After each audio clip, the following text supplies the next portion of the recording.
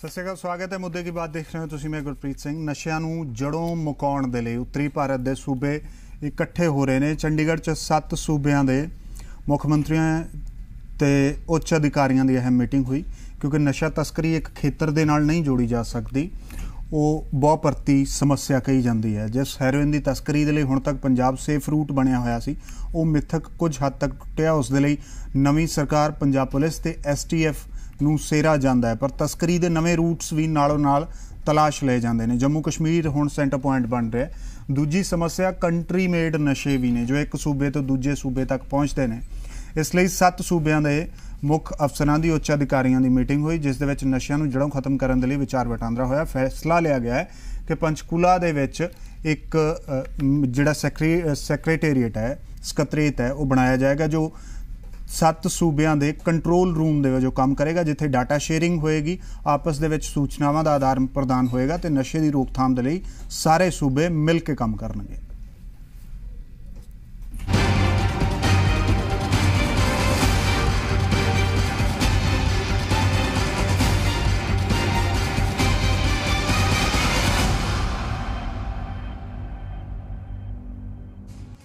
ਨਸ਼ੇ ਨੂੰ ਲੈ ਕੇ ਚੁਣੌਤੀ ਅਤੇ ਉਸ ਦੇ ਖਿਲਾਫ ਸਾਂਝੀ ਰਣਨੀਤੀ ਬਣਾਉਣ ਦੇ ਲਈ ਪੰਜਾਬ, ਹਰਿਆਣਾ, ਹਿਮਾਚਲ ਅਤੇ ਉੱਤਰਾਖੰਡ ਦੇ ਮੁੱਖ ਮੰਤਰੀ ਇੱਕ ਮੰਚ ਤੇ ਨਜ਼ਰ ਆਏ।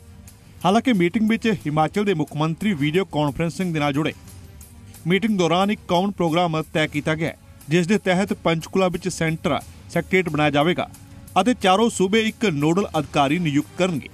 ਇਹ ਅਧਿਕਾਰੀ ਆਪਸ 'ਚ ਡਰੱਗ ਨਾਲ ਜੁੜੀ ਜਾਣਕਾਰੀ ਇੱਕ ਦੂਜੇ ਨੂੰ ਵੰਡਣਗੇ। ਹਰ 6 ਮਹੀਨੇ ਵਿੱਚ ਮੁੱਖ ਮੰਤਰੀ ਨਾਲ ਬੈਠਕ ਹੋਵੇਗੀ ਜਦਕਿ ਨੋਡਲ ਅਧਿਕਾਰੀ ਹਰ 3 ਮਹੀਨੇ ਵਿੱਚ ਮਿਲਣਗੇ ਜਿਸ ਵਿੱਚ ਸੂਬੇ ਦੇ ਮੁੱਖ ਸਕੱਤਰ ਅਤੇ ਡੀਜੀਪੀ ਸ਼ਾਮਲ ਹੋਣਗੇ ਇਸ ਦੇ ਨਾਲ ਫੈਸਲਾ ਲਿਆ ਗਿਆ ਹੈ ਕਿ ਸਾਰੇ ਸੂਬਿਆਂ ਦੇ ਨਾਲ ਲੱਗਦੀ ਸਰਹੱਦ ਤੇ ਐਸਐਸਪੀ ਰੋਜ਼ਾਨਾ ਤਾਲਮੇਲ ਬਿਠਾਉਣ ਦੇ ਲਈ ਇੱਕ ਦੂਜੇ ਦੇ ਸੰਪਰਕ ਵਿੱਚ ਰਹਿਣਗੇ साझा सचिवालय कॉमन सेक्रेटरिएट इस समस्या के निदान के लिए बनाया जाए तो पंचकुला में ये एक सचिवालय बनेगा सभी प्रदेश एक एक नोडल अधिकारी इसके लिए बनाएंगे हर छः महीने में मुख्यमंत्री स्तर की एक बैठक और हर तीन महीने में एक अधिकारी स्तर की बैठक और जो एडजाइनिंग डिस्ट्रिक्ट हैं प्रांतों के दूसरे प्रांतों के साथ उन डिस्ट्रिक्ट्स के डीसी एसपी वो भी रेगुलर मीटिंग्स वो किया करेंगे ਮੀਟਿੰਗ ਦੇ ਦੌਰਾਨ ਮੁੱਖ ਮੰਤਰੀ ਕੈਪਟਨ ਅਮਰਿੰਦਰ ਸਿੰਘ ਨੇ ਸੁਝਾਅ ਦਿੱਤਾ ਹੈ ਕਿ ਡਰੱਗ ਨਾਲ ਪ੍ਰਭਾਵਿਤ ਸਾਰੇ ਸੂਬੇ ਕੇਂਦਰ ਕੋਲ ਜਾਣ ਅਤੇ ਡਰੱਗ ਦੇ ਲਈ ਇੱਕ ਫੰਡ ਦੇ ਗਠਨ ਦੀ ਮੰਗ ਕਰਨ ਇਸ ਦੇ ਨਾਲ ਹੀ ਮੁੱਖ ਮੰਤਰੀ ਕੈਪਟਨ ਅਮਰਿੰਦਰ ਸਿੰਘ ਨੇ ਡਰੱਗਸ ਦੇ ਖਿਲਾਫ ਇੱਕ ਕੌਮੀ ਪਾਲਿਸੀ ਬਣਾਉਣ ਤੇ ਵੀ ਜ਼ੋਰ ਦਿੱਤਾ ਹੈ ਮੀਟਿੰਗ ਵਿੱਚ ਮੁੱਖ ਮੰਤਰੀ ਕੈਪਟਨ ਅਮਰਿੰਦਰ ਸਿੰਘ ਨੇ ਸੁਝਾਅ ਦਿੱਤਾ ਕਿ ਕੇਂਦਰੀ ਏਜੰਸੀਆਂ BSF DRI NCB RPF CISF ਅਤੇ ਕਸਟਮਸ ਦੇ ਅਫਸਰ ਨੂੰ ਵੀ ਇਸ ਵਿੱਚ ਸ਼ਾਮਲ ਕੀਤਾ ਜਾਵੇ ਤਾਂ ਜੋ ਬਿਹਤਰ ਤਾਲਮੇਲ ਬਣਾਇਆ ਜਾ ਸਕੇ This is a very major issue. As the Chief Minister said, this goes beyond state boundaries. The whole of our uh, country is being affected by this, and it is the duty of all our governments to get together कि इसका सामना हम करें। और वही शुरुआत आज खट्टर साहब ने यहाँ से कराई। चार प्रदेशों के मुख्यमंत्री, पंजाब, हरियाणा, उत्तराखंड और हिमाचल प्रदेश। यद्यपि हिमाचल प्रदेश के मुख्यमंत्री मौसम खराब होने के कारण से पहुँच नहीं सके, लेकिन वीडियो कॉन्फ्रेंस के साथ वो भी मीटिंग में शामिल रहे। तीन अन्य प्रांत जैसे दिल्ली, चंडीगढ़ और राजस्थान। ऐसे सातों प्रांतों के अधिकारी और चार मुख्यमंत्री इनकी संयुक्त बैठक आज हुई। ਮੀਟਿੰਗ ਦੌਰਾਨ ਮੁੱਖ ਮੰਤਰੀ ਕੈਪਟਨ ਅਮਰਿੰਦਰ ਸਿੰਘ ਨੇ ਕਿਹਾ ਕਿ ਹੈਰੋਇਨ ਸਰਹੱਦ ਪਾਰ ਪਾਕਿਸਤਾਨ ਤੋਂ ਸਪਲਾਈ ਹੁੰਦੀ ਹੈ। ਇਸ ਦੇ ਲਈ ਉਹਨਾਂ ਨੇ ਬੀਐਸਐਫ ਦੇ ਜਵਾਨਾਂ ਦੀ ਤਾਇਨਾਤੀ ਤੇ 1 ਸਾਲ ਤੋਂ ਵੱਧ ਇੱਕ ਥਾਂ ਨਾ ਕਰਨ ਦੀ ਗੁਜ਼ਾਰਿਸ਼ ਕੀਤੀ ਹੈ। ਨਸ਼ੇ ਨੂੰ ਰੋਕਣ ਦੇ ਲਈ ਮੁੱਖ ਮੰਤਰੀ ਕੈਪਟਨ ਅਮਰਿੰਦਰ ਸਿੰਘ ਨੇ ਕਿਹਾ ਕਿ ਸੂਬੇ ਦੀਆਂ ਸਰਹੱਦਾਂ ਨੂੰ ਹਾਈਟੈਕ ਬਣਾਉਣਾ ਹੋਵੇਗਾ। ਇਸ ਦੇ ਨਾਲ ਹੀ ਮੁੱਖ ਮੰਤਰੀ ਕੈਪਟਨ ਅਮਰਿੰਦਰ ਸਿੰਘ ਨੇ ਜ਼ੋਰ ਦਿੱਤਾ ਕਿ ਸੂਬਿਆਂ ਨੂੰ ਆਪਣੇ ਨਾਕੇ ਮਜ਼ਬੂਤ ਕਰਨੇ ਹੋਣਗੇ। ਸੀਸੀਟੀਵੀ ਦੇ ਨਾਲ-ਨਾਲ ਨਾਰਕੋਟਿਕ ਟ੍ਰੇਨ ਡੌਗਸ ਵੀ ਰੇਲਵੇ ਸਟੇਸ਼ਨ ਬੱਸ ਸਟੈਂਡ ਤੇ ਸੈਕਿੰਡ ਡਿਫੈਂਸ ਲਾਈਨ ਵਜੋਂ ਤਾਇਨਾਤ ਕਰਨੇ ਹੋਣਗੇ। ਕੈਪਟਨ ਅਮਰਿੰਦਰ ਸਿੰਘ ਨੇ ਦਾਅਵਾ ਕੀਤਾ ਕਿ 5 ਅਗਸਤ ਤੱਕ ਐਸਟੀਐਫ ਵੱਲੋਂ 21571 ਸਮਗਲਰਾਂ ਨੂੰ ਗ੍ਰਿਫਤਾਰ ਕੀਤਾ ਜਾ ਚੁੱਕਾ ਹੈ, ਜਦਕਿ 23 ਪੁਲਿਸ ਮੁਲਾਜ਼ਮਾਂ ਨੂੰ ਵੀ ਡਰੱਗਸ ਦੇ ਮਾਮਲੇ ਵਿੱਚ ਗ੍ਰਿਫਤਾਰ ਕਰਨ ਦਾ ਦਾਅਵਾ ਕੀਤਾ ਗਿਆ ਹੈ। ਜਗਤਾਰ ਭੁੱਲਰ ਦੇ ਨਾਲ ਕੁਲਬੀਰ ਦੀਵਾਨ, ਜ਼ਿਮੀ।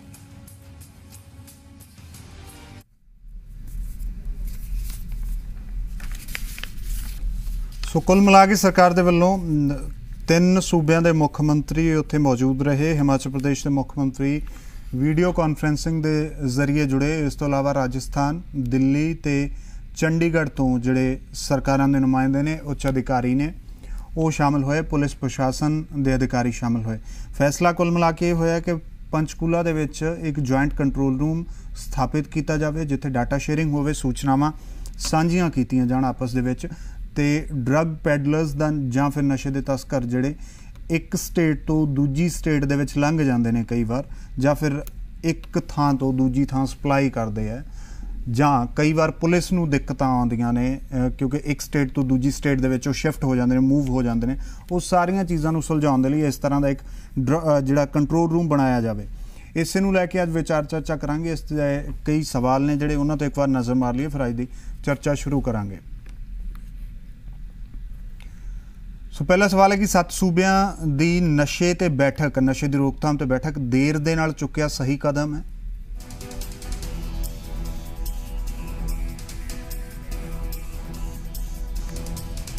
ਕਿ ਡਾਟਾ ਸਾਂਝਾ ਕਰਨਾ ਰੂਟੀਨ ਬੈਠਕਾਂ ਜਾਂ ਫਿਰ ਸੂਚਨਾਵਾਂ ਦਾ ਆਦਾਨ ਪ੍ਰਦਾਨ ਆਪਸ ਦੇ ਵਿੱਚ ਕਰਨ ਦੇ ਨਾਲ ਨਸ਼ਾ ਤਸਕਰਾਂ ਤੇ ਨਕੀਲ ਕਸੀ ਜਾਏਗੀ?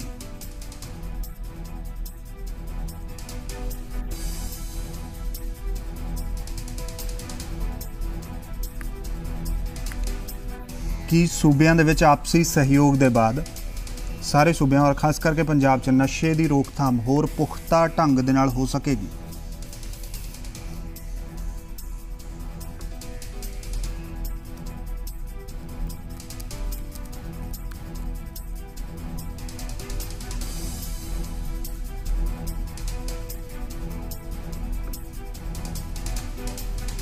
ਇਸ ਤੋਂ ਇਲਾਵਾ ਦਰਸ਼ਕਾਂ ਤੋਂ ਸਵਾਲ ਹੈ ਅੱਜ ਦਾ ਕਿ ਸੱਤ ਸੂਬਿਆਂ ਦੇ ਵੱਲੋਂ ਨਸ਼ੇ ਰੋਕਥਾਮ ਤੇ ਨਸ਼ੇ ਤੇ ਸਾਂਝੀ ਨੀਤੀ ਬਣਾਉਣ ਦਾ ਫੈਸਲਾ ਸਹੀ ਹੈ? ਤੁਹਾਡੇ ਇਸ ਤੱਕ ਵਿਚਾਰ ਨੇ। ਹਾਂ ਜਾਂ ਨਾ ਦੇ ਵਿੱਚ ਆਪਣੇ ਵਿਚਾਰ ਸਾਨੂੰ ਐਸਐਮਐਸ ਦੇ ਰਾਹੀਂ ਪਹੁੰਚਾ ਸਕਦੇ ਹੋ।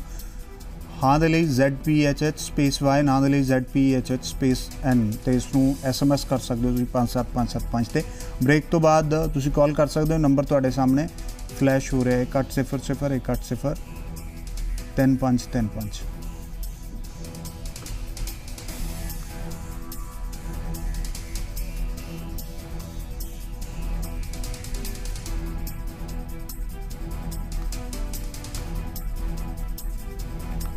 ਸੋ ਇਸੇ ਪੱਖ ਦੇ ਮਸਲੇ ਤੇ ਵਿਚਾਰ ਚਰਚਾ ਦੇ ਲਈ ਅੱਜ ਕਈ ਖਾਸ ਮਹਿਮਾਨ ਸਾਡੇ ਨਾਲ ਜੁੜਨਗੇ।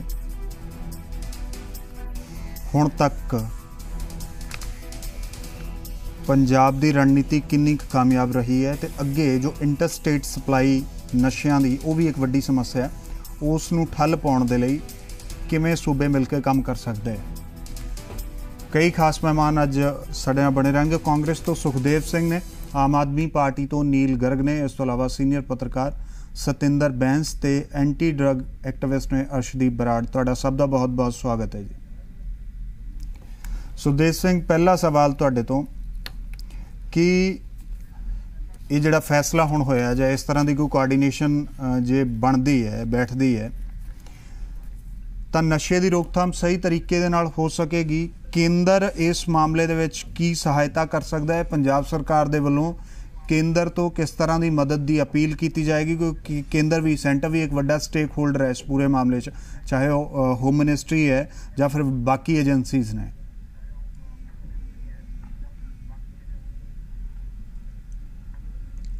ਦੇਖੋ ਸਰ ਜਿਹੜੀ ਇਹ ਅੱਜ ਸੱਤ ਸੂਬਿਆਂ ਨੇ ਬੈਠ ਕੇ ਆਪਸ ਵਿੱਚ ਮੀਟਿੰਗ ਕੀਤੀ ਹੈ, ਜਿਹਦੇ ਚ ਇੱਕ ਤਿੰਨ ਚੀਫ ਮਿਨਿਸਟਰ ਹਾਜ਼ਰ ਹੋਏ, ਚੌਥੇ ਵੀਡੀਓ ਕਾਨਫਰੰਸਿੰਗ ਰਾਹੀਂ ਆਏ ਤੇ ਬਾਕੀਆਂ ਦੇ ਸੀਨੀਅਰ ਆਫੀਸਰਸ ਆਏ।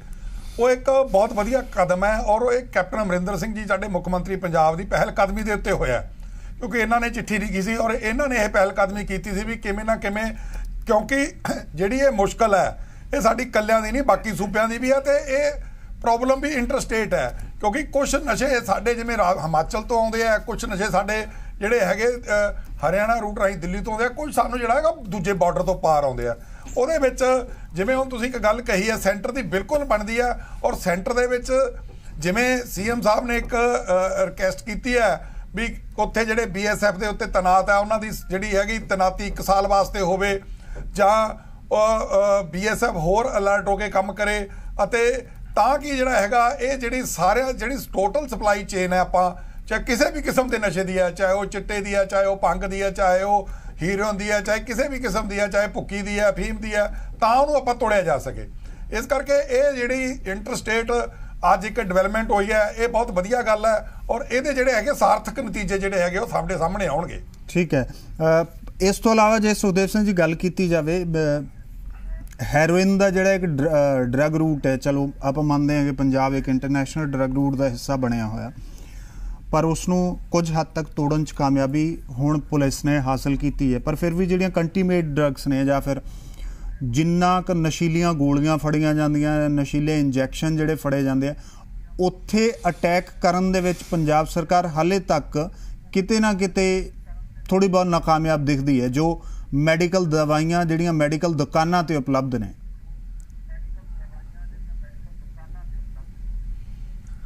ਨਹੀਂ ਸਰ ਦੇਖੋ ਗੱਲ ਇਹ ਹੈ ਵੀ ਉੱਥੇ ਵੀ ਪੂਰੀ ਤਰ੍ਹਾਂ ਪੂਰੇ ਜ਼ੋਰ ਸ਼ੋਰ ਨਾਲ ਅਟੈਕ ਕੀਤਾ। ਉੱਥੇ ਦੋ ਤਿੰਨ ਏਜੰਸੀਆਂ ਦੀ ਡਿਊਟੀ ਲੱਗੀ ਹੈ ਪਰ ਉਹਦੇ ਚ ਰੈਜ਼ਿਸਟੈਂਸ ਵੀ ਸਾਹਮਣੇ ਆ ਰਹੀ ਹੈ। ਕੈਮਿਸਟ ਨੇ ਉਹਨਾਂ ਦੀਆਂ ਆਪਣੀਆਂ ਪ੍ਰੋਬਲਮਸ ਨੇ ਕਿਉਂਕਿ ਦੇਖੋ ਜੇ 20% ਬੰਦੇ ਗਲਤ ਕੰਮ ਕਰਦੇ ਹੁੰਦੇ ਆ 80% ਨਾਲ ਜਦੋਂ ਉਹਨਾਂ ਨੂੰ ਮੁਸ਼ਕਲ ਚੱਲਣੀ ਪੈਂਦੀ ਉਹ ਵੀ ਇੱਕ ਤਕਲੀਫ ਦਾ ਕਾਰਨ ਹੁੰਦਾ ਕਿਉਂਕਿ ਆਪਾਂ ਹਰ ਇੱਕ ਜਿਹੜਾ ਹੈਗਾ ਅਸੀਂ ਕਿਸੇ ਨਹੀਂ ਕਹਿ ਸਕਦੇ ਵੀ ਸਾਰੇ ਜਿਹੜੇ ਕੈਮਿਸਟ ਹੈ ਉਹ ਇਸ ਕਿਸਮ ਦੀਆਂ ਗੋਲੀਆਂ ਇਸ ਕਿਸਮ ਦੇ ਟੀਕੇ ਵੇਚਦੇ ਆ। ਕੁਝ ਹੁੰਦੇ ਨੇ ਉਹ ਵੇਚਦੇ ਹੁੰਦੇ ਨੇ ਪਰ ਜਦੋਂ ਇਸ ਕਿਸਮ ਦਾ ਐਕਸ਼ਨ ਹੁੰਦਾ ਉਹ ਜਦੋਂ ਸਾਰਿਆਂ ਨੂੰ ਫੇਸ ਕਰਨਾ ਪੈਂਦਾ ਹੁਣ ਜਿਵੇਂ ਕੈਮਿਸਟ ਹੜਤਾਲ ਤੇ ਚਲੇ ਗਏ ਉਹ ਕਹਿੰਦੇ ਜੀ ਵੀ ਸਾਡੇ ਪੁਲਿਸ ਸਾਡੇ ਦੁਕਾਨ ਤੇ ਨਹੀਂ ਆਉਣੀ ਚਾਹੀਦੀ ਸਾਡੇ ਕੱਲਾ ਹੈਲਥ ਵਾਲਾ ਆਵੇ ਦੂਜਾ ਆਵੇ ਇਦਾਂ ਦੀਆਂ ਗੱਲਾਂ ਸਾਹਮਣੇ ਕਰਨਾ ਨਹੀਂ, ਪਰ ਪੈਂਦਾ ਇਸ ਤਰ੍ਹਾਂ ਦਾ ਦਬਾਅ ਜਿਹੜਾ ਹੈਗਾ ਐਸੋਸੀਏਸ਼ਨਾਂ ਦੇ ਵੱਲੋਂ ਪਾਉਣ ਦੀ ਕੋਸ਼ਿਸ਼ ਕੀਤੀ ਜਾਂਦੀ ਹੈ ਠੀਕ ਹੈ ਉਹਨਾਂ ਦੇ ਵੱਲੋਂ ਪਿਛਲੇ ਦਿਨੀ ਹੜਤਾਲ ਕੀਤੀ ਗਈ ਇੱਕ ਦਬਾਅ ਸਰਕਾਰ ਤੇ ਬਣਾਉਣ ਦੀ ਕੋਸ਼ਿਸ਼ ਕੀਤੀ ਗਈ ਦਵਾਈਆਂ ਦੇਣੀਆਂ ਬੰਦ ਕੀਤੀਆਂ ਗਈਆਂ ਇੱਕ ਦਿਨ ਦੇ ਲਈ ਪਰ ਕੀ ਇਸ ਤਰ੍ਹਾਂ ਦਾ ਦਬਾਅ ਅਰਸ਼ਦੀਪ ਬਰਾੜ ਮੈਂ ਤੁਹਾਡੇ ਤੋਂ ਜਾਨਣਾ ਚਾਹਣਾ ਇਸ ਤਰ੍ਹਾਂ ਦਾ ਦਬਾਅ ਸਰਕਾਰ ਨੂੰ ਮੰਨਣਾ ਚਾਹੀਦਾ ਹੈ ਜੇ ਪੁਲਿਸ ਸਹੀ ਤਰੀਕੇ ਦੇ ਨਾਲ ਕੰਮ ਕਰ ਰਹੀ ਹੈ ਜੇ ਰੇਡਸ। ਹੋ ਰਹੀਆਂ ਚੈਕਿੰਗ ਹੋ ਰਹੀ ਹੈ। ਤਾਂ ਸਮੱਸਿਆ ਕੀ ਹੈ ਫਿਰ ਦੇਖੋ ਜੀ ਚੈਕਿੰਗ ਦੇਖੋ ਰੇਡਸ ਐਂਡ ਚੈਕਿੰਗ ਉਹ ਤਾਂ ਜ਼ਰੂਰੀ ਨੇ ਠੀਕ ਹੈ? ਪਰ ਦੇਖੋ ਕੁਝ ਕਿਸੇ ਇਨੋਸੈਂਟ ਨੂੰ ਮਾਰਨਾ ਵੀ ਗਲਤ ਹੈ। ਹਾਂ ਇਹਦਾ ਸਹੀ ਤਰੀਕਾ ਹੋਰ ਹੈ ਠੀਕ ਹੈ? ਇਹ- ਇਹਦੇ ਚ ਇਹਦੇ ਚ ਪੁਲਿਸ ਤੇ ਵੀ ਇੱਕ ਚੈੱਕ ਚਾਹੀਦਾ ਹੈਗਾ। ਨਜਾਇਜ਼ ਬੰਦੇ ਵੀ ਨਹੀਂ ਜਿਹੜੇ ਇਹਦੇ ਵਿੱਚ ਇੰਪਲੀਕੇਟ ਕੀਤੇ ਜਾ ਰਹੇ ਆ। 10-10 ਸਾਲ ਦੀ ਮਿਨੀਮਮ ਸਜ਼ਾ ਜੀ ਕਮਰਸ਼ੀਅਲ ਕੁਆਂਟੀਟੀ ਤੇ। ਕਮਰਸ਼ੀਅਲ ਕੁਆਂਟੀਟੀ ਕੀ ਹੁੰਦੀ ਹੈ? 20 ਗ੍ਰਾਮ 50 ਗ੍ਰਾਮ। ਹੂੰ। ਬਿਨਾਂ ਗੱਲੋਂ ਕਿਸੇ ਬੰਦੇ ਨੂੰ ਚੱਕ ਕੇ ਅੰਦਰ ਸਿੱਟਣਾ ਉਹ ਵੀ ਮਾੜੀ ਗੱਲ ਹੈ। ਹਾਂ ਇਸ ਚੀਜ਼ ਦੇ ਜੇ ਰੇਡਸ ਵਗੈਰਾ ਕੰਡਕਟ ਹੁੰਦੀਆਂ ਜਿਹੜਾ ਬੰਦਾ ਗਲਤ ਹੈਗਾ ਉਹਨੂੰ ਜ਼ਰੂਰ ਫੜੋ ਉਹਨੂੰ ਜ਼ਰੂਰ ਸਜ਼ਾ ਵੀ ਹੋਣੀ ਚਾਹੀਦੀ ਹੈ। ਜਿਵੇਂ ਕੈਪਟਨ ਸਾਹਿਬ ਕਹਿ ਰਹੇ ਸੀਗੇ ਕਿ ਅਸੀਂ ਫਾਂਸੀ ਦੀ ਸਜ਼ਾ ਦਾ ਕਰ ਰਹੇ ਹਾਂ ਜਿਹੜੀ ਕਿ ਪਹਿਲਾਂ ਹੀ ਸੀ ਉਹ ਸੀ ਚੀਜ਼ਾਂ ਹੋਣੀਆਂ ਚਾਹੀਦੀਆਂ ਪਰ ਜਿਹੜਾ ਬੰਦਾ ਗਲਤ ਹੈਗਾ ਉਹਨੂੰ ਹੋਵੇ। ਠੀਕ ਹੈ? ਹੁਣ ਆਟੇ ਦੇ ਨਾਲ ਕਹਿੰਦੇ ਹੁੰਦੇ ਵੀ ਘੁਣ ਵੀ ਪੀਸਿਆ ਜਾਂਦਾ ਪਰ ਇੱਥੇ ਘੁਣ ਜ਼ਿਆਦੇ ਆਟਾ ਘੱਟ ਹੈ।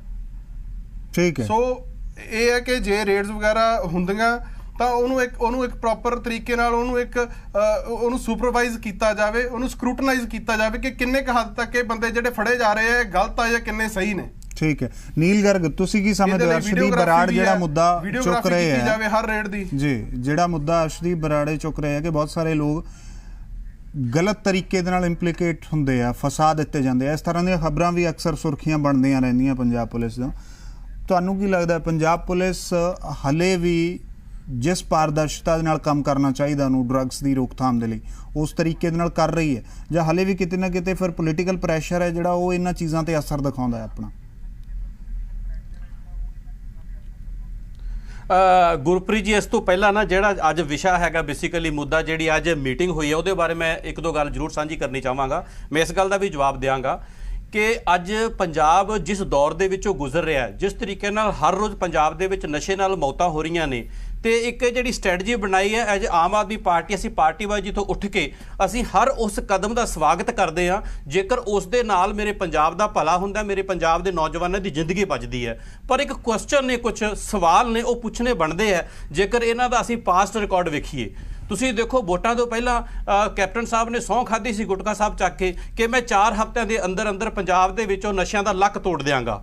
ਉਸ ਤੋਂ ਬਾਅਦ ਤੁਸੀਂ ਡੇਢ ਸਾਲ ਹੋ ਗਿਆ, ਹਰ ਮਹੀਨੇ ਇੱਕ ਨਵੀਂ ਸਟ੍ਰੈਟਜੀ ਲੈ ਕੇ ਆ ਜਾਂਦੇ ਆ।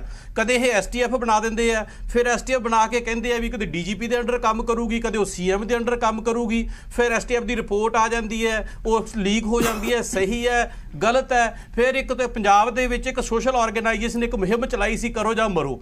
ਉਸ ਮੁਹਿੰਮ ਨੂੰ ਫੇਲ ਕਰਨ ਦੇ ਲਈ ਇਹਨਾਂ ਨੇ ਡੋਪ ਟੈਸਟ ਲੈ ਹੁਣ ਡੋਪ ਟੈਸਟ ਕਿੰਨਾ ਕੁ ਕਾਰਗਰ ਹੋਇਆ, ਇਹ ਸਮਝ ਨਹੀਂ ਆਇਆ। ਕੈਪਟਨ ਸਾਹਿਬ ਵੀ ਦੱਸ ਸਕਦੇ ਕਿ ਡੋਪ ਟੈਸਟ ਦੇ ਨਾਲ ਜਿਹੜਾ ਹੈਗਾ ਨਸ਼ੇ ਰੁਕੇ ਜਾਂ ਨਹੀਂ ਰੁਕੇ, ਹੁਣ ਇੱਕ ਇਹ ਨਵੀਂ ਸਟ੍ਰੈਟਜੀ ਲੈ ਕੇ ਆ ਰਹੀ ਹੈ। ਇਹ ਸਟ੍ਰੈਟਜੀ ਹੈ ਕੀ ਹੈ ਬੇਸਿਕਲੀ ਇਹ ਸਟ੍ਰੈਟਜੀ ਕਮਿਊਨੀਕੇਸ਼ਨ ਹੈ ਬੇਸਿਕਲੀ ਇੱਕ ਸੂਬੇ ਤੋਂ ਦੂਜੇ ਸੂਬੇ ਦੇ ਵਿੱਚ ਬਹੁਤ ਅੱਛੀ ਗੱਲ ਹੈ, ਜੇਕਰ ਇਸ ਦੇ ਨਾਲ ਪੰਜਾਬ ਦਾ ਭਲਾ ਹੁੰਦਾ ਪਰ ਤੁਸੀਂ ਦੇਖੋ, ਇਹਨਾਂ ਦੇ ਆਪਣਾ ਜਿਹੜਾ ਅੰਦਰ ਨੈਕਸਸ ਬਣਿਆ ਹੋਇਆ ਸਟੇਟ ਦੇ ਵਿੱਚ, ਆਪਣੇ ਸਟੇਟ ਦੇ ਵਿੱਚ ਜਿਹੜਾ ਕਮਿਊਨੀਕੇਸ਼ਨ ਗੈਪ ਹੈ, ਉਹਨੂੰ ਹੱਲ ਕੌਣ ਕਰੇਗਾ? ਪਿਛਲੇ ਅੱਜ ਪਿਛਲੇ ਮਹੀਨੇ ਦੀ ਗੱਲ ਹੈ, ਪੰਜਾਬ ਦੇ ਹੈਲਥ ਮਿਨਿਸਟਰ ਬਿਆਨ ਦੇ ਰਿਹਾ ਕਿ ਪੰਜਾਬ ਦੇ ਵਿੱਚ ਇਸ ਮਹੀਨੇ ਮੌਤ, ਨਸ਼ੇ ਨਾਲ ਦੋ ਮੌਤਾਂ ਹੋਈਆਂ। ਜਦ ਕਿ ਸਾਰਾ ਮੀਡੀਆ ਨੇ ਪੂਰੀ ਡਿਟੇਲ ਛਾਪਤੀ ਕਿ 50 ਮੌਤਾਂ ਹੋਈਆਂ।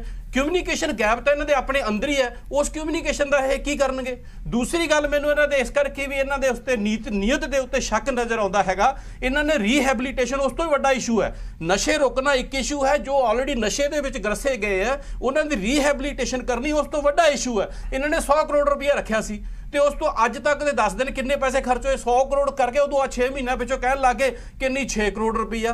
ਹੁਣ ਜੇ 100 ਕਰੋੜ ਚੋਂ 50 ਕਰੋੜ ਵੀ ਖਰਚ ਕੀਤੇ ਹੁੰਦੇ ਤਾਂ ਸਮਝ ਆਉਂਦਾ ਕਿ ਇਹ ਜਿਹੜੀ ਸਰਕਾਰ ਇਹ ਨਸ਼ਿਆਂ ਨੂੰ ਰੋਕਣਾ ਚਾਹੁੰਦੀ ਹੈ, ਪਰ ਇਹ ਜਿਸ ਤਰੀਕੇ ਦੀ ਮਨਸ਼ਾ ਨਜ਼ਰ ਨਹੀਂ ਆਉਂਦੀ ਨੀਅਤ ਨਜ਼ਰ ਨਹੀਂ ਆਉਂਦੀ ਹੈ, ਹਰ ਰੋਜ਼ ਨਵੀਂ ਇਹ ਸਟ੍ਰੈਟਜੀ ਲੈ ਕੇ ਆ ਜਾਂਦੀ ਹੈ। ਹੁਣ ਤੁਸੀਂ ਦੇਖੋ, ਇਸ ਦੀ ਅਗਲੀ ਮੀਟਿੰਗ 20 ਫਰਵਰੀ ਨੂੰ ਹੋਏਗੀ। ਮੈਨੂੰ ਸ਼ੱਕ ਹੈ ਔਰ ਸ਼ੱਕ ਕਰਨ ਦਾ ਮੈਨੂੰ ਹੱਕ ਹੈ ਪੰਜਾਬੀ ਹੋਣ ਦੇ ਨਾਤੇ। ਉਹਨਾਂ ਦਿਨਾਂ 'ਚ ਹਿੰਦੁਸਤਾਨ 'ਚ ਵੋਟਾਂ ਪੈਣੀ ਸ਼ੁਰੂ ਹੋ ਜਾਣਗੀਆਂ। ਫਿਰ ਕੀ ਇਹ ਜਿਹੜੀਆਂ ਸਾਰੀਆਂ ਸਰਕਾਰਾਂ ਨੂੰ ਮਿਲ ਕੇ ਉਸ ਤੇ ਕੰਮ ਕਰਨਗੀਆਂ? ਮੈਨੂੰ ਡਾਊਟ ਹੈ ਇਸ ਚੀਜ਼ ਦੇ ਉੱਤੇ।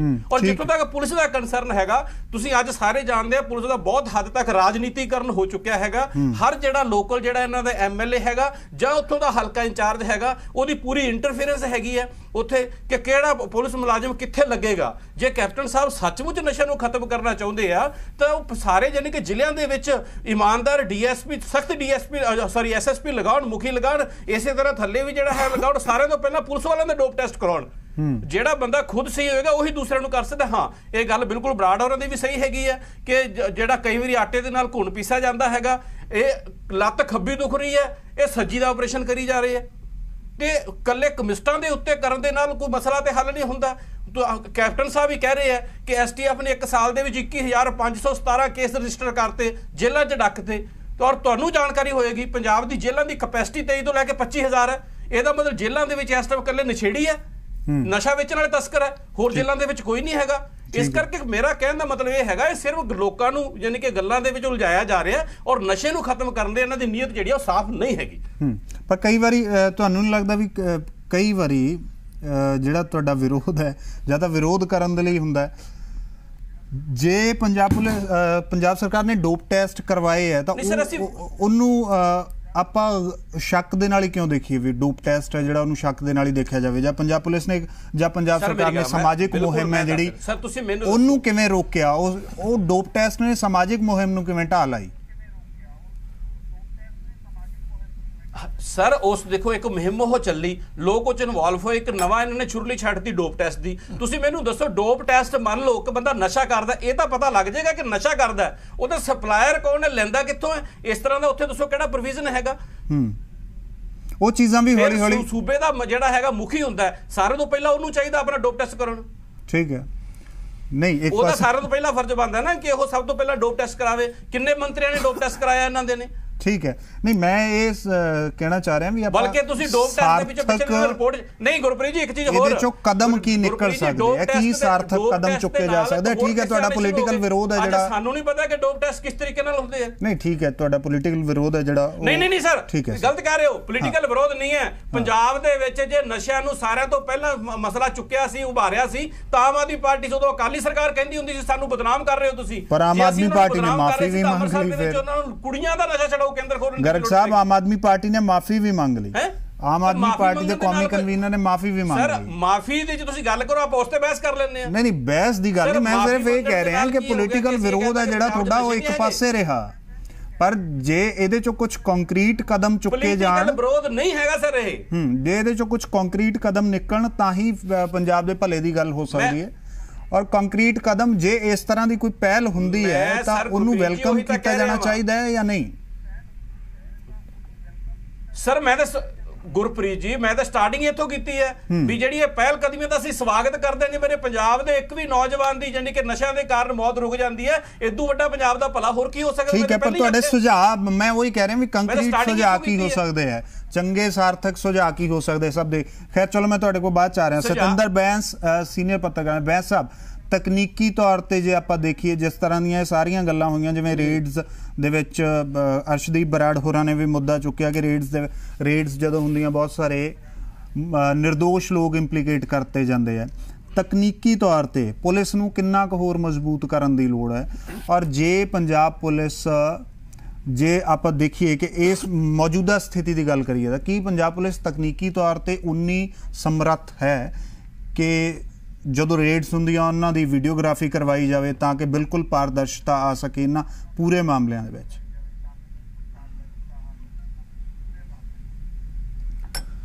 ਦੇਖੋ ਗੁਰਪ੍ਰੀਤ ਜੀ ਜਿਹੜੇ ਇੱਕੋ ਦਮ ਤੁਸੀਂ ਕੈਮਿਸਟਾਂ ਦੇ ਉੱਤੇ ਰੇਡਸ ਕਰਨੀਆਂ ਸ਼ੁਰੂ ਕਰ ਲਈਆਂ ਉਹ ਕਹਿੰਦੇ ਨੀ ਜਰਕ ਰਿਐਕਸ਼ਨ ਹੈਗੇ ਸੀਗੇ ਜਿਹੜੇ ਕਿ ਵਾਜਬ ਨਹੀਂ ਹੈਗੇ। ਉਹਦੇ ਚ ਕੀ ਹੈ ਕਿ ਸਸਟੇਨਡ ਐਫਰਟਸ ਹੋਣੇ ਚਾਹੀਦੇ ਜੇ ਤੁਸੀਂ ਪਿਛਲੇ ਡੇਢ ਸਾਲ ਤੋਂ ਰੈਗੂਲਰ ਚੈੱਕ ਹੁੰਦਾ। ਜਿਹੜੇ ਹੈਲਥ ਡਿਪਾਰਟਮੈਂਟ ਦੇ ਡਰੱਗ ਇੰਸਪੈਕਟਰ ਹੈ ਉਹਨਾਂ ਨੂੰ ਉਹਨਾਂ ਨੂੰ ਪੁੱਛੋ ਵੀ ਤੁਸੀਂ ਡੇਢ ਸਾਲ ਕੀ ਕਰਦੇ ਰਹੇ ਹੁਣ ਇੱਕੋ ਦਮ ਜਾ ਕੇ ਜੇ ਰੇਡਸ ਕਰਨੀਆਂ ਪੈ ਰਹੀਆਂ ਤੇ ਉਹਦਾ ਉਹਦੇ ਉਹਨਾਂ ਨੂੰ ਜਵਾਬਦੇਹ ਬਣਾਉਣਾ ਚਾਹੀਦਾ ਹੈ। ਠੀਕ ਸੋ ਹੈ। ਇਸ ਕਰਕੇ ਜਿਹੜੀ ਇਹ ਸਸਟੇਨਡ ਐਫਰਟਸ ਹੋਣੇ ਚਾਹੀਦੀਆਂ ਇਹ ਨਹੀਂ ਕਿ ਇੱਕਦਮ ਕੁਝ ਹੋ ਗਿਆ ਤੇ ਜਾ ਕੇ ਹਮਲੇ ਹਮਲਾ ਕਰ ਦਿਓ ਸਾਰਿਆਂ ਉੱਤੇ ਸਰਚ ਸ਼ੁਰੂ ਕਰ ਲਓ ਇਸੇ ਤਰੀਕੇ ਨਾਲ ਜਦੋਂ ਪਹਿਲਾਂ ਹੋਇਆ ਸੀ ਡੋਪ ਟੈਸਟ ਦਾ ਉਹ ਵੀ ਇੱਕ ਨੀਜਰ ਕੇ ਰਿਐਕਸ਼ਨ ਸੀਗਾ ਜਦ। ਕਿ ਡੋਪ ਟੈਸਟ ਮੁੜ ਕੇ ਕਿਸੇ ਨੇ ਪੁੱਛਿਆ ਵੀ ਨਹੀਂ ਖਤਮ ਹੋ ਗਈ ਗੱਲ ਠੀਕ ਹੈ। ਸੋ ਉਹਦੇ ਚ ਥੋੜੀ ਪੁਲਿਸ ਦੀ ਜਿਹੜੀ ਗੱਲ ਹੈ ਪੁਲਿਸ ਦੇਖੋ ਪੁਲਿਸ ਨੂੰ ਕੋਈ ਟ੍ਰੇਨਿੰਗ ਨਹੀਂ ਹੈਗੀ ਇਸ ਤਰ੍ਹਾਂ ਦੀ ਕਿ ਜਾ ਕੇ ਉਹ ਕੈਮਿਸਟਾਂ ਨੂੰ ਚੈੱਕ ਕਰਨ ਜਾਂ ਉਹ ਕਰਨ, ਕਿਉਂਕਿ ਪੁਲਿਸ ਦੇ ਲਾ ਐਂਡ ਆਰਡਰ ਦਾ ਕੰਮ ਦੇਖਣਾ ਹੈ। ਔਰ ਬੜੀ ਹੈਰਾਨੀ ਦੀ ਗੱਲ ਹੈ ਕਿ ਪੁਲਿਸ ਨੂੰ ਉਹ ਕੰਮ ਦਿੱਤੇ ਗਏ ਆ ਜਿਹੜੇ ਪੁਲਿਸ ਦੇ ਨਹੀਂ ਹੈਗੇ, ਜਿਵੇਂ ਸਕੂਲਾਂ 'ਚ ਜਾ ਕੇ ਹਾਜ਼ਰੀ ਚੈੱਕ ਕਰਨੀ ਟੀਚਰਾਂ ਦੀ। ਠੀਕ ਹੈ ਨਾ? ਉਹਦੇ ਆ, ਜਿਹੜੇ ਤੁਹਾਡੇ ਆਈਲੈਟਸ ਦੇ ਸੈਂਟਰ ਖੁੱਲੇ ਉੱਥੇ ਜਾ ਕੇ ਬੈਠੇ ਰਹਿੰਦੇ ਆ। ਸੋ ਉਹ ਜਿਹੜੀ ਚੀਜ਼ਾਂ ਨੂੰ ਬਾਹਰ ਕੱਢ ਕੇ ਪੁਲਿਸ ਨੂੰ, ਉਹਨਾਂ ਨੂੰ ਉਹ ਡਿਊਟੀਆਂ ਦੇਣੀ ਚਾਹੀਦੀਆਂ, ਜਿਹੜੀਆਂ ਲਾ ਐਂਡ ਆਰਡਰ ਹੈ ਜਾਂ ਨਸ਼ਿਆਂ ਦਾ ਕੰਮ ਉਹ ਕਰਨ। ਪਰ ਐਗਜ਼ੈਕਟਲੀ ਕੀ ਹੈ ਕਿ ਡਾਇਵਰਟ ਕੀਤਾ ਗਿਆ ਹੋਇਆ ਪੁਲਿਸ ਦਾ ਰੋ- ਕੰਮ ਜਿਹੜਾ ਬਹੁਤ ਡਾਇਵਰਟ ਹੋਇਆ। ਜਿਹੜਾ ਰੋਲ ਜਿਹਨੂੰ ਕਰਨਾ ਚਾਹੀਦਾ ਉਹ ਨਹੀਂ ਕਰ ਰਿਹਾ ਡਰੱਗ ਇੰਸਪੈਕਟਰਸ ਹੈ ਉਹਨਾਂ ਨੂੰ ਡਰੱਗ ਦਾ ਕੰਮ ਦਿਓ ਬਈ ਤੁਸੀਂ ਕਮਿਸ਼ਨਰ ਨੂੰ ਚੈੱਕ ਕਰੋ ਠੀਕ। ਔਰ ਤੁਸੀਂ ਦੇਖੋ ਇਕੱਲੇ ਡਰੱਗਸ ਦੀ ਪ੍ਰੋਬਲਮ ਨਹੀਂ ਆ ਰਹੀ ਹੈ ਜਿਹੜੀ ਜਿਹੜੀ ਮੈਂ ਹੈਲਥ ਡਿਪਾਰਟਮੈਂਟ ਦੀ ਗੱਲ ਕਰ ਰਿਹਾ ਉਹਦੇ ਚ ਹੋਰ ਬਹੁਤ ਸਾਰੀਆਂ ਚੀਜ਼ਾਂ ਜਿਵੇਂ ਤੁਸੀਂ ਦੇਖ ਰਹੇ ਹੋ ਨਾ ਅਡਲਟਰੇਟਡ ਦੁੱਧ ਘਿਓ ਟਨਾਂ ਦੀ ਤਾਦਾਦ ਮਿਲ ਰਿਹਾ ਪੰਜਾਬ ਦੇ ਵਿੱਚ। ਇਹਦਾ ਮਤਲਬ ਸਾਰਾ ਕੁਝ ਧੰਦਾ ਚੱਲ ਰਿਹਾ ਜਿਵੇਂ ਰਿਹਾ। ਚੱਲ ਰਿਹਾ ਉਵੇਂ ਉਸ ਤਰੀਕੇ ਦੇ ਦੂਜੇ ਕੰਮ ਚੱਲ ਰਿਹਾ। ਬਾਕੀ ਜਿੱਥੋਂ ਤੱਕ ਇਹ ਕੋਆਰਡੀਨੇਸ਼ਨ ਦੀ ਗੱਲ ਹੈ ਮੈਂ ਇਹਦਾ ਸਵਾਗਤ ਕਰਦਾ ਕਿ ਇੱਕ ਇਹਦਾ ਮੈਸੇਜ ਬਹੁਤ ਚੰਗਾ ਜਾਏਗਾ ਜਿਹੜੀ ਮੀਟਿੰਗ ਹੋਈ ਅੱਜ ਚੀਫ ਮਿਨਿਸਟਰ ਦੀ। ਪਰ ਉਹਦੇ ਪਿੱਛੇ ਤੁਸੀਂ ਦੇਖੋ ਕੋਆਰਡੀਨੇਸ਼ਨ ਤਾਂ ਆਲਰੇਡੀ ਡੀਜੀਪੀ ਲੈਵਲ ਦੀਆਂ ਮੀਟਿੰਗਾਂ ਨੇ ਸਟੇਟਾਂ ਦੇ ਵਿੱਚ ਪਹਿਲਾਂ ਵੀ ਹੋ ਚੁੱਕੀਆਂ। ਹੈ ਕਈ ਵਾਰੀ ਆਈਜੀ ਲੈਵਲ ਦੀਆਂ ਜਾਂ ਡੀਜੀ ਲੈਵਲ ਦੀਆਂ ਹੁੰਦੀਆਂ ਰਹਿੰਦੀਆਂ। ਸੋ ਕੋਆਰਡੀਨੇਸ਼ਨ ਨਹੀਂ ਕਮੀ ਹੈਗੀ ਨਹੀਂ, ਤੁਹਾਨੂੰ ਨਹੀਂ ਲੱਗਦਾ ਬੈਂਸ ਸਾਹਿਬ? ਥੋੜਾ ਜਿਹਾ ਜ਼ਰੂਰ। ਹਾਈਲਾਈਟ ਕੀਤਾ ਗਿਆ ਹੈ। ਬੈਂਸ ਸਾਹਿਬ ਤੁਹਾਨੂੰ ਨਹੀਂ ਲੱਗਦਾ ਵੀ ਜਿਵੇਂ ਪਿਛਲੇ ਦਿਨੀ ਵੀ ਕਈ ਇਸ ਤਰ੍ਹਾਂ ਦੀਆਂ ਖਬਰਾਂ ਸਾਹਮਣੇ ਆਉਂਦੀਆਂ ਜਿਵੇਂ ਪਠਾਨਕੋਟ ਦਾ ਏਰੀਆ ਹੈ ਜੋ ਹਿਮਾਚਲ ਦੇ ਨਾਲ ਲੱਗਦਾ ਹੈ ਅਕਸਰ ਕੀ ਹੁੰਦਾ ਹੈ ਕਿ ਜਿਹੜੇ ਪੈਡਲਰਸ ਨੇ ਉਹ ਪਾਰ ਕਰਦੇ ਰਹਿੰਦੇ ਹੱਦ ਉਹ ਹਿਮਾਚਲ ਹਿਮਾਚਲ ਤੋਂ ਪੰਜਾਬ ਦੇ ਵਿੱਚ ਵੜਦੇ ਆ ਇੱਥੇ ਨਸ਼ਾ ਵੇਚਦੇ ਆ ਫਿਰ ਜਦੋਂ। ਪੁਲਿਸ ਨੇ ਕੋਈ ਕਾਰਵਾਈ ਕਰਨੀ ਹੁੰਦੀ ਉਦੋਂ ਹਿਮਾਚਲ ਲੰਘ। ਜਾਂਦੇ ਆ ਉਹਦੇ ਚ ਤਾਂ ਇਹ ਜਿਹੜੀਆਂ ਚੀਜ਼ਾਂ ਨੇ ਸ਼ਾਇਦ ਇਹ ਤਾਂ ਹੱਲ ਹੋਣਗੀਆਂ ਨਾ ਉਹਦੇ ਚ ਉਹਦੇ ਚ ਆਲਰੇਡੀ ਬਹੁਤ। ਨਹੀਂ ਦੋਹਾਂ ਦੋਹਾਂ ਦੋਨਾਂ ਜਿਹੜੀ ਹਿਮਾਚਲ ਔਰ ਪੰਜਾਬ ਪੁਲਿਸ ਦੀ ਕੋਆਰਡੀਨੇਸ਼ਨ ਆਲਰੇਡੀ ਚੱਲ ਰਹੀ। ਬਹੁਤ ਸਾਰੇ ਆਪਰੇਸ਼ਨ ਜੁਆਇੰਟ ਆਪਰੇਸ਼ਨ ਦੋਨਾਂ ਪੁਲਿਸਾਂ ਨੇ ਕੀਤੇ ਆ ਪਹਿਲਾਂ ਵੀ। ਸੋ ਇਹਦੇ ਚ ਮੈਂ ਥੋੜਾ ਜਿਹਾ ਤੁਹਾਨੂੰ ਇੱਕ ਗੱਲ ਇਹ ਐਡ ਕਰਨੀ ਚਾਹੂੰਗਾ ਕਿ ਵਧੀਆ ਕਿ ਚਲੋ ਇਹਦੇ ਨਾਲ ਇੱਕ ਮੈਸੇਜ ਚੰਗਾ ਜਾਏਗਾ ਕਿ ਚੀਫ ਮਿਨਿਸਟਰ ਲੈਵਲ ਦੇ ਉੱਤੇ ਇੱਕ ਕਾਰਵਾਈ ਹੋ ਰਹੀ ਹੈ ਥੱਲੇ ਅਫਸਰਾਂ ਨੂੰ ਥੋੜਾ ਜਿਹਾ ਉਹਦੇ ਨਾਲ ਹੌਸਲਾ ਮਿਲੇਗਾ ਪਰ ਉਹਦੇ ਚ ਮੈਨੂੰ ਜੋ ਲੱਗਦਾ ਇਹਦਾ ਇੱਕ ਕਾਰਨ ਜਿਹੜਾ ਸੀਗਾ ਕਿ 31 ਅਗਸਤ ਨੂੰ high Punjab and high court ਦੇ ਵਿੱਚ ਸੁਣਵਾਈ ਹੈਗੀ ਹੈ ਡਰੱਗ ਕੇਸ ਦੀ, ਜਿਹੜਾ ਸੀਬੀਆਈ ਨੂੰ ਇਨਕੁਆਇ- ਦੇਣ ਵਾਸਤੇ ਇੱਕ ਪਟੀਸ਼ਨ ਚੱਲ ਰਹੀ ਹੈ ਬੰਚ ਆਫ ਪਟੀਸ਼ਨਸ ਹੈਗਾ। ਸੋ ਉਹਦੀ ਸੁਣਵਾਈ ਹੈ। ਉਹਦੇ ਵਾਸਤੇ ਇੱਕ ਐਕਸ਼ਨ ਟੇਕਨ ਰਿਪੋਰਟ ਵੀ ਪੰਜਾਬ ਗਵਰਨਮੈਂਟ ਨੇ ਪੇਸ਼ ਕਰਨੀ ਹੈ ਉੱਥੇ।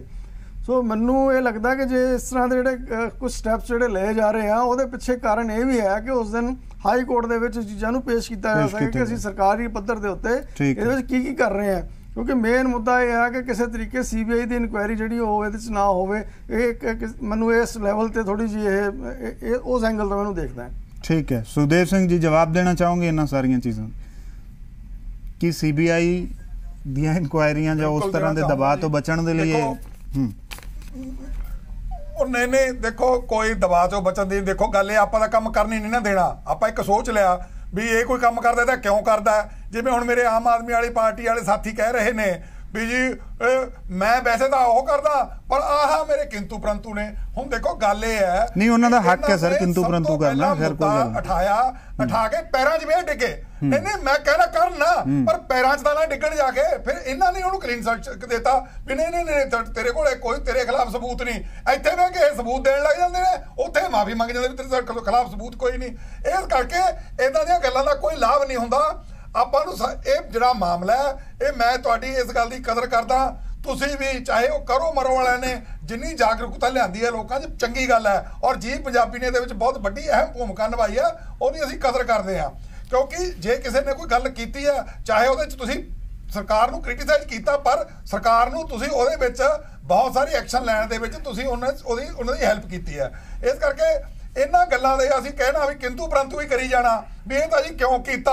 ਇਹ ਜੇ ਕਰਨਾ ਸੀ ਤਾਂ ਪਹਿਲਾਂ ਕਰਨਾ ਸੀ ਪਹਿਲਾਂ ਕਰਨੇ ਤਾਂ ਬਾਅਦ ਚ ਕਰਨਾ ਸੀ। ਇਹ ਗੱਲਾਂ ਦਾ ਕੋਈ ਲਾਭ ਨਹੀਂ ਹੋਣਾ। ਇੱਥੇ ਬੈਠ ਕੇ ਸਾਡੇ ਇਹ ਸਾਥੀ ਸਿਰਫ ਜਿਵੇਂ ਆਮ ਆਦਮੀ ਵਾਲੇ ਆ ਇਹਨਾਂ ਨੇ ਇੱਕ ਕ੍ਰਿਟਿਸਿਜ਼ਮ ਕਰਨਾ ਇਹ ਹੁਣ ਸਾਨੂੰ ਇਹਨਾਂ ਦਾ ਇਹ ਨਹੀਂ ਪਤਾ ਲੱਗਦਾ ਵੀ ਕੱਲ ਇਹਨਾਂ ਨੇ ਹੁਣ ਅਹ, ਖਹਿਰਾ ਸਾਹਿਬ ਦੇ ਗੁਣਗਾਨ ਕਰਦੇ ਸੀ ਅੱਜ ਖਹਿਰੇ ਨੂੰ ਗਾਲਾਂ ਕੱਢਣਗੇ ਪਰਸੋਂ ਨੂੰ ਫੇਰ ਇਹਨਾਂ ਨੇ ਇਕੱਠੇ ਹੋ ਜਾਣਾ। ਇਸ ਕਰਕੇ ਇਹਨਾਂ ਗੱਲਾਂ 'ਚ ਲਾਭ ਕੁਝ ਨਹੀਂ ਹੋਣਾ। ਇਹ ਜਿਹੜੀ ਕੋਈ ਗੱਲ ਹੈ ਅੱਜ ਬੜੇ ਚਾਹੇ ਉਹ ਡੋਪ ਟੈਸਟ ਦੀ ਅਸੀਂ ਗੱਲ ਕਰਦੇ ਆ ਡੋਪ ਟੈਸਟ ਮੰਤਰੀਆਂ ਨੇ ਵੀ ਕਰਾਏ ਐਮਐਲਏ ਨੇ ਵੀ ਕਰਾਇਆ ਔਰ ਪਰ ਮੈਂ ਇੱਕ ਤੁਹਾਨੂੰ ਇਸ ਚੈਨਲ ਤੇ ਇੱਕ ਗੱਲ ਦੱਸਣ ਲੱਗਿਆ ਕਿ ਉਹ ਡੋਪ ਟੈਸਟ ਦੀ ਗੱਲ ਸਭ ਤੋਂ ਪਹਿਲਾਂ ਭਗਵੰਤ ਮਾਨ ਚੱਕਣ ਲੱਗਿਆ ਸੀ। ਜਦੋਂ ਉਹਦੇ ਤੇ ਸ਼ਰਾਬ ਦੇ ਐਲੀਗੇਸ਼ਨ ਲਾਉਂਦੇ ਸੀ ਉਹ ਕਹਿੰਦਾ ਹੁੰਦਾ ਸੀ ਵੀ ਡੋਪ ਟੈਸਟ ਕਰਾਓ ਸਭ ਦਾ। ਔਰ ਇਹ ਡੋਪ ਟੈਸਟ ਦੀ ਗੱਲ ਉਹ ਲੈ ਕੇ ਆਏ ਸੀ ਹੁਣ ਇਹ ਕਹਿੰਦੇ ਜੀ ਡਾਇਵਰਟ ਕਰਨ ਨੂੰ ਲੈ ਆਂਦੀ। ਔਰ ਇਹ ਸੁਜੈਸ਼ਨ ਦਾ ਦੇਣ ਵਾਲਾ ਸਭ ਤੋਂ ਪਹਿਲਾਂ ਭਗਵੰਤ ਮਾਨ ਸੀਗਾ ਠੀਕ ਡੋਪ। ਟੈਸਟ ਹੋਣੇ ਚਾਹੀਦੇ ਆ। ਔਰ ਇਸ ਕਰਕੇ ਹੁਣ ਇਹ ਪਤਾ ਨਹੀਂ ਉਹ ਭਗਵੰਤ ਮਾਨ ਦੇ ਨਾਲ ਲੈ ਕੇ ਖਿਲਾਫ ਨੇ ਇਹ ਤਾਂ ਕਰ ਸਾਨੂੰ ਇਹਨਾਂ ਦਾ ਪਤਾ ਨਹੀਂ ਲੱਗਦਾ ਕਿਉਂਕਿ ਰੋਜ਼ ਦੀ ਰੋਜ਼ ਇਹਨਾਂ ਦੇ ਸਟੇਸ਼ਨ ਚਲੋ ਠੀਕ ਹੈ। ਪਾਰਟੀ ਦੀ ਪਰ ਜਿਹੜੀ ਕੋਈ ਡੋਪ ਟੈਸਟ ਕਿਸੇ ਗੱਲ ਤੋਂ ਡਾਇਵਰਟ ਕਰਨ ਨੂੰ ਨਹੀਂ ਨਾ ਇਹ ਗੱਲਾਂ ਨਾਲ ਡਾਇਵਰਟ ਹੁੰਦਾ ਹੈ। ਜੇ ਕੋਈ ਮੂਵਮੈਂਟ ਉੱਠਦੀ ਹੈ ਉਹ ਕਿਸੇ ਸਰਕਾਰ ਦੇ ਇਦਾਂ ਦੇ ਐਕਸ਼ਨਾਂ ਦੇ ਨਾਲ ਜਾਂ ਸਰਕਾਰ ਠੀਕ ਹੈ, ਸੁਖਦੇਵ ਸਿੰਘ ਜੀ, ਪਰ ਨਾਲ ਉਹ ਇੱਕ- ਮੂਵਮੈਂਟ ਨੂੰ ਢਾਲ ਨਹੀਂ ਲੱਗਦੀ ਜੇ ਹੈ। ਮੂਵਮੈਂਟ ਪੱਕੇ ਪੈਰੀ ਹੁੰਦੀ ਹੈ ਤਾਂ ਉਹ ਪੱਕੇ ਪੈਰੀ ਰਹਿੰਦੀ ਹੈ ਠੀਕ ਹੈ ਚਲੋ ਉਹ ਤਾਂ ਜੋ ਸਰਕਾਰ ਨੇ ਕੰਮ ਕਰਨਾ ਹੈ, ਉਹ ਕਿੰਤੂ ਪਰੰਤੂ ਕਰੇ ਦੇ ਨਾਲ ਨਹੀਂ ਰੁਕਣ ਲੱਗਿਆ ਉਹ ਉਹਨਾਂ ਦਾ ਸੰਵਿਧਾਨਕ ਹੱਕ ਵੀ ਹੈ, ਉਹਨਾਂ ਨੂੰ ਕਰਨ ਦੋ ਸਵਾਲ।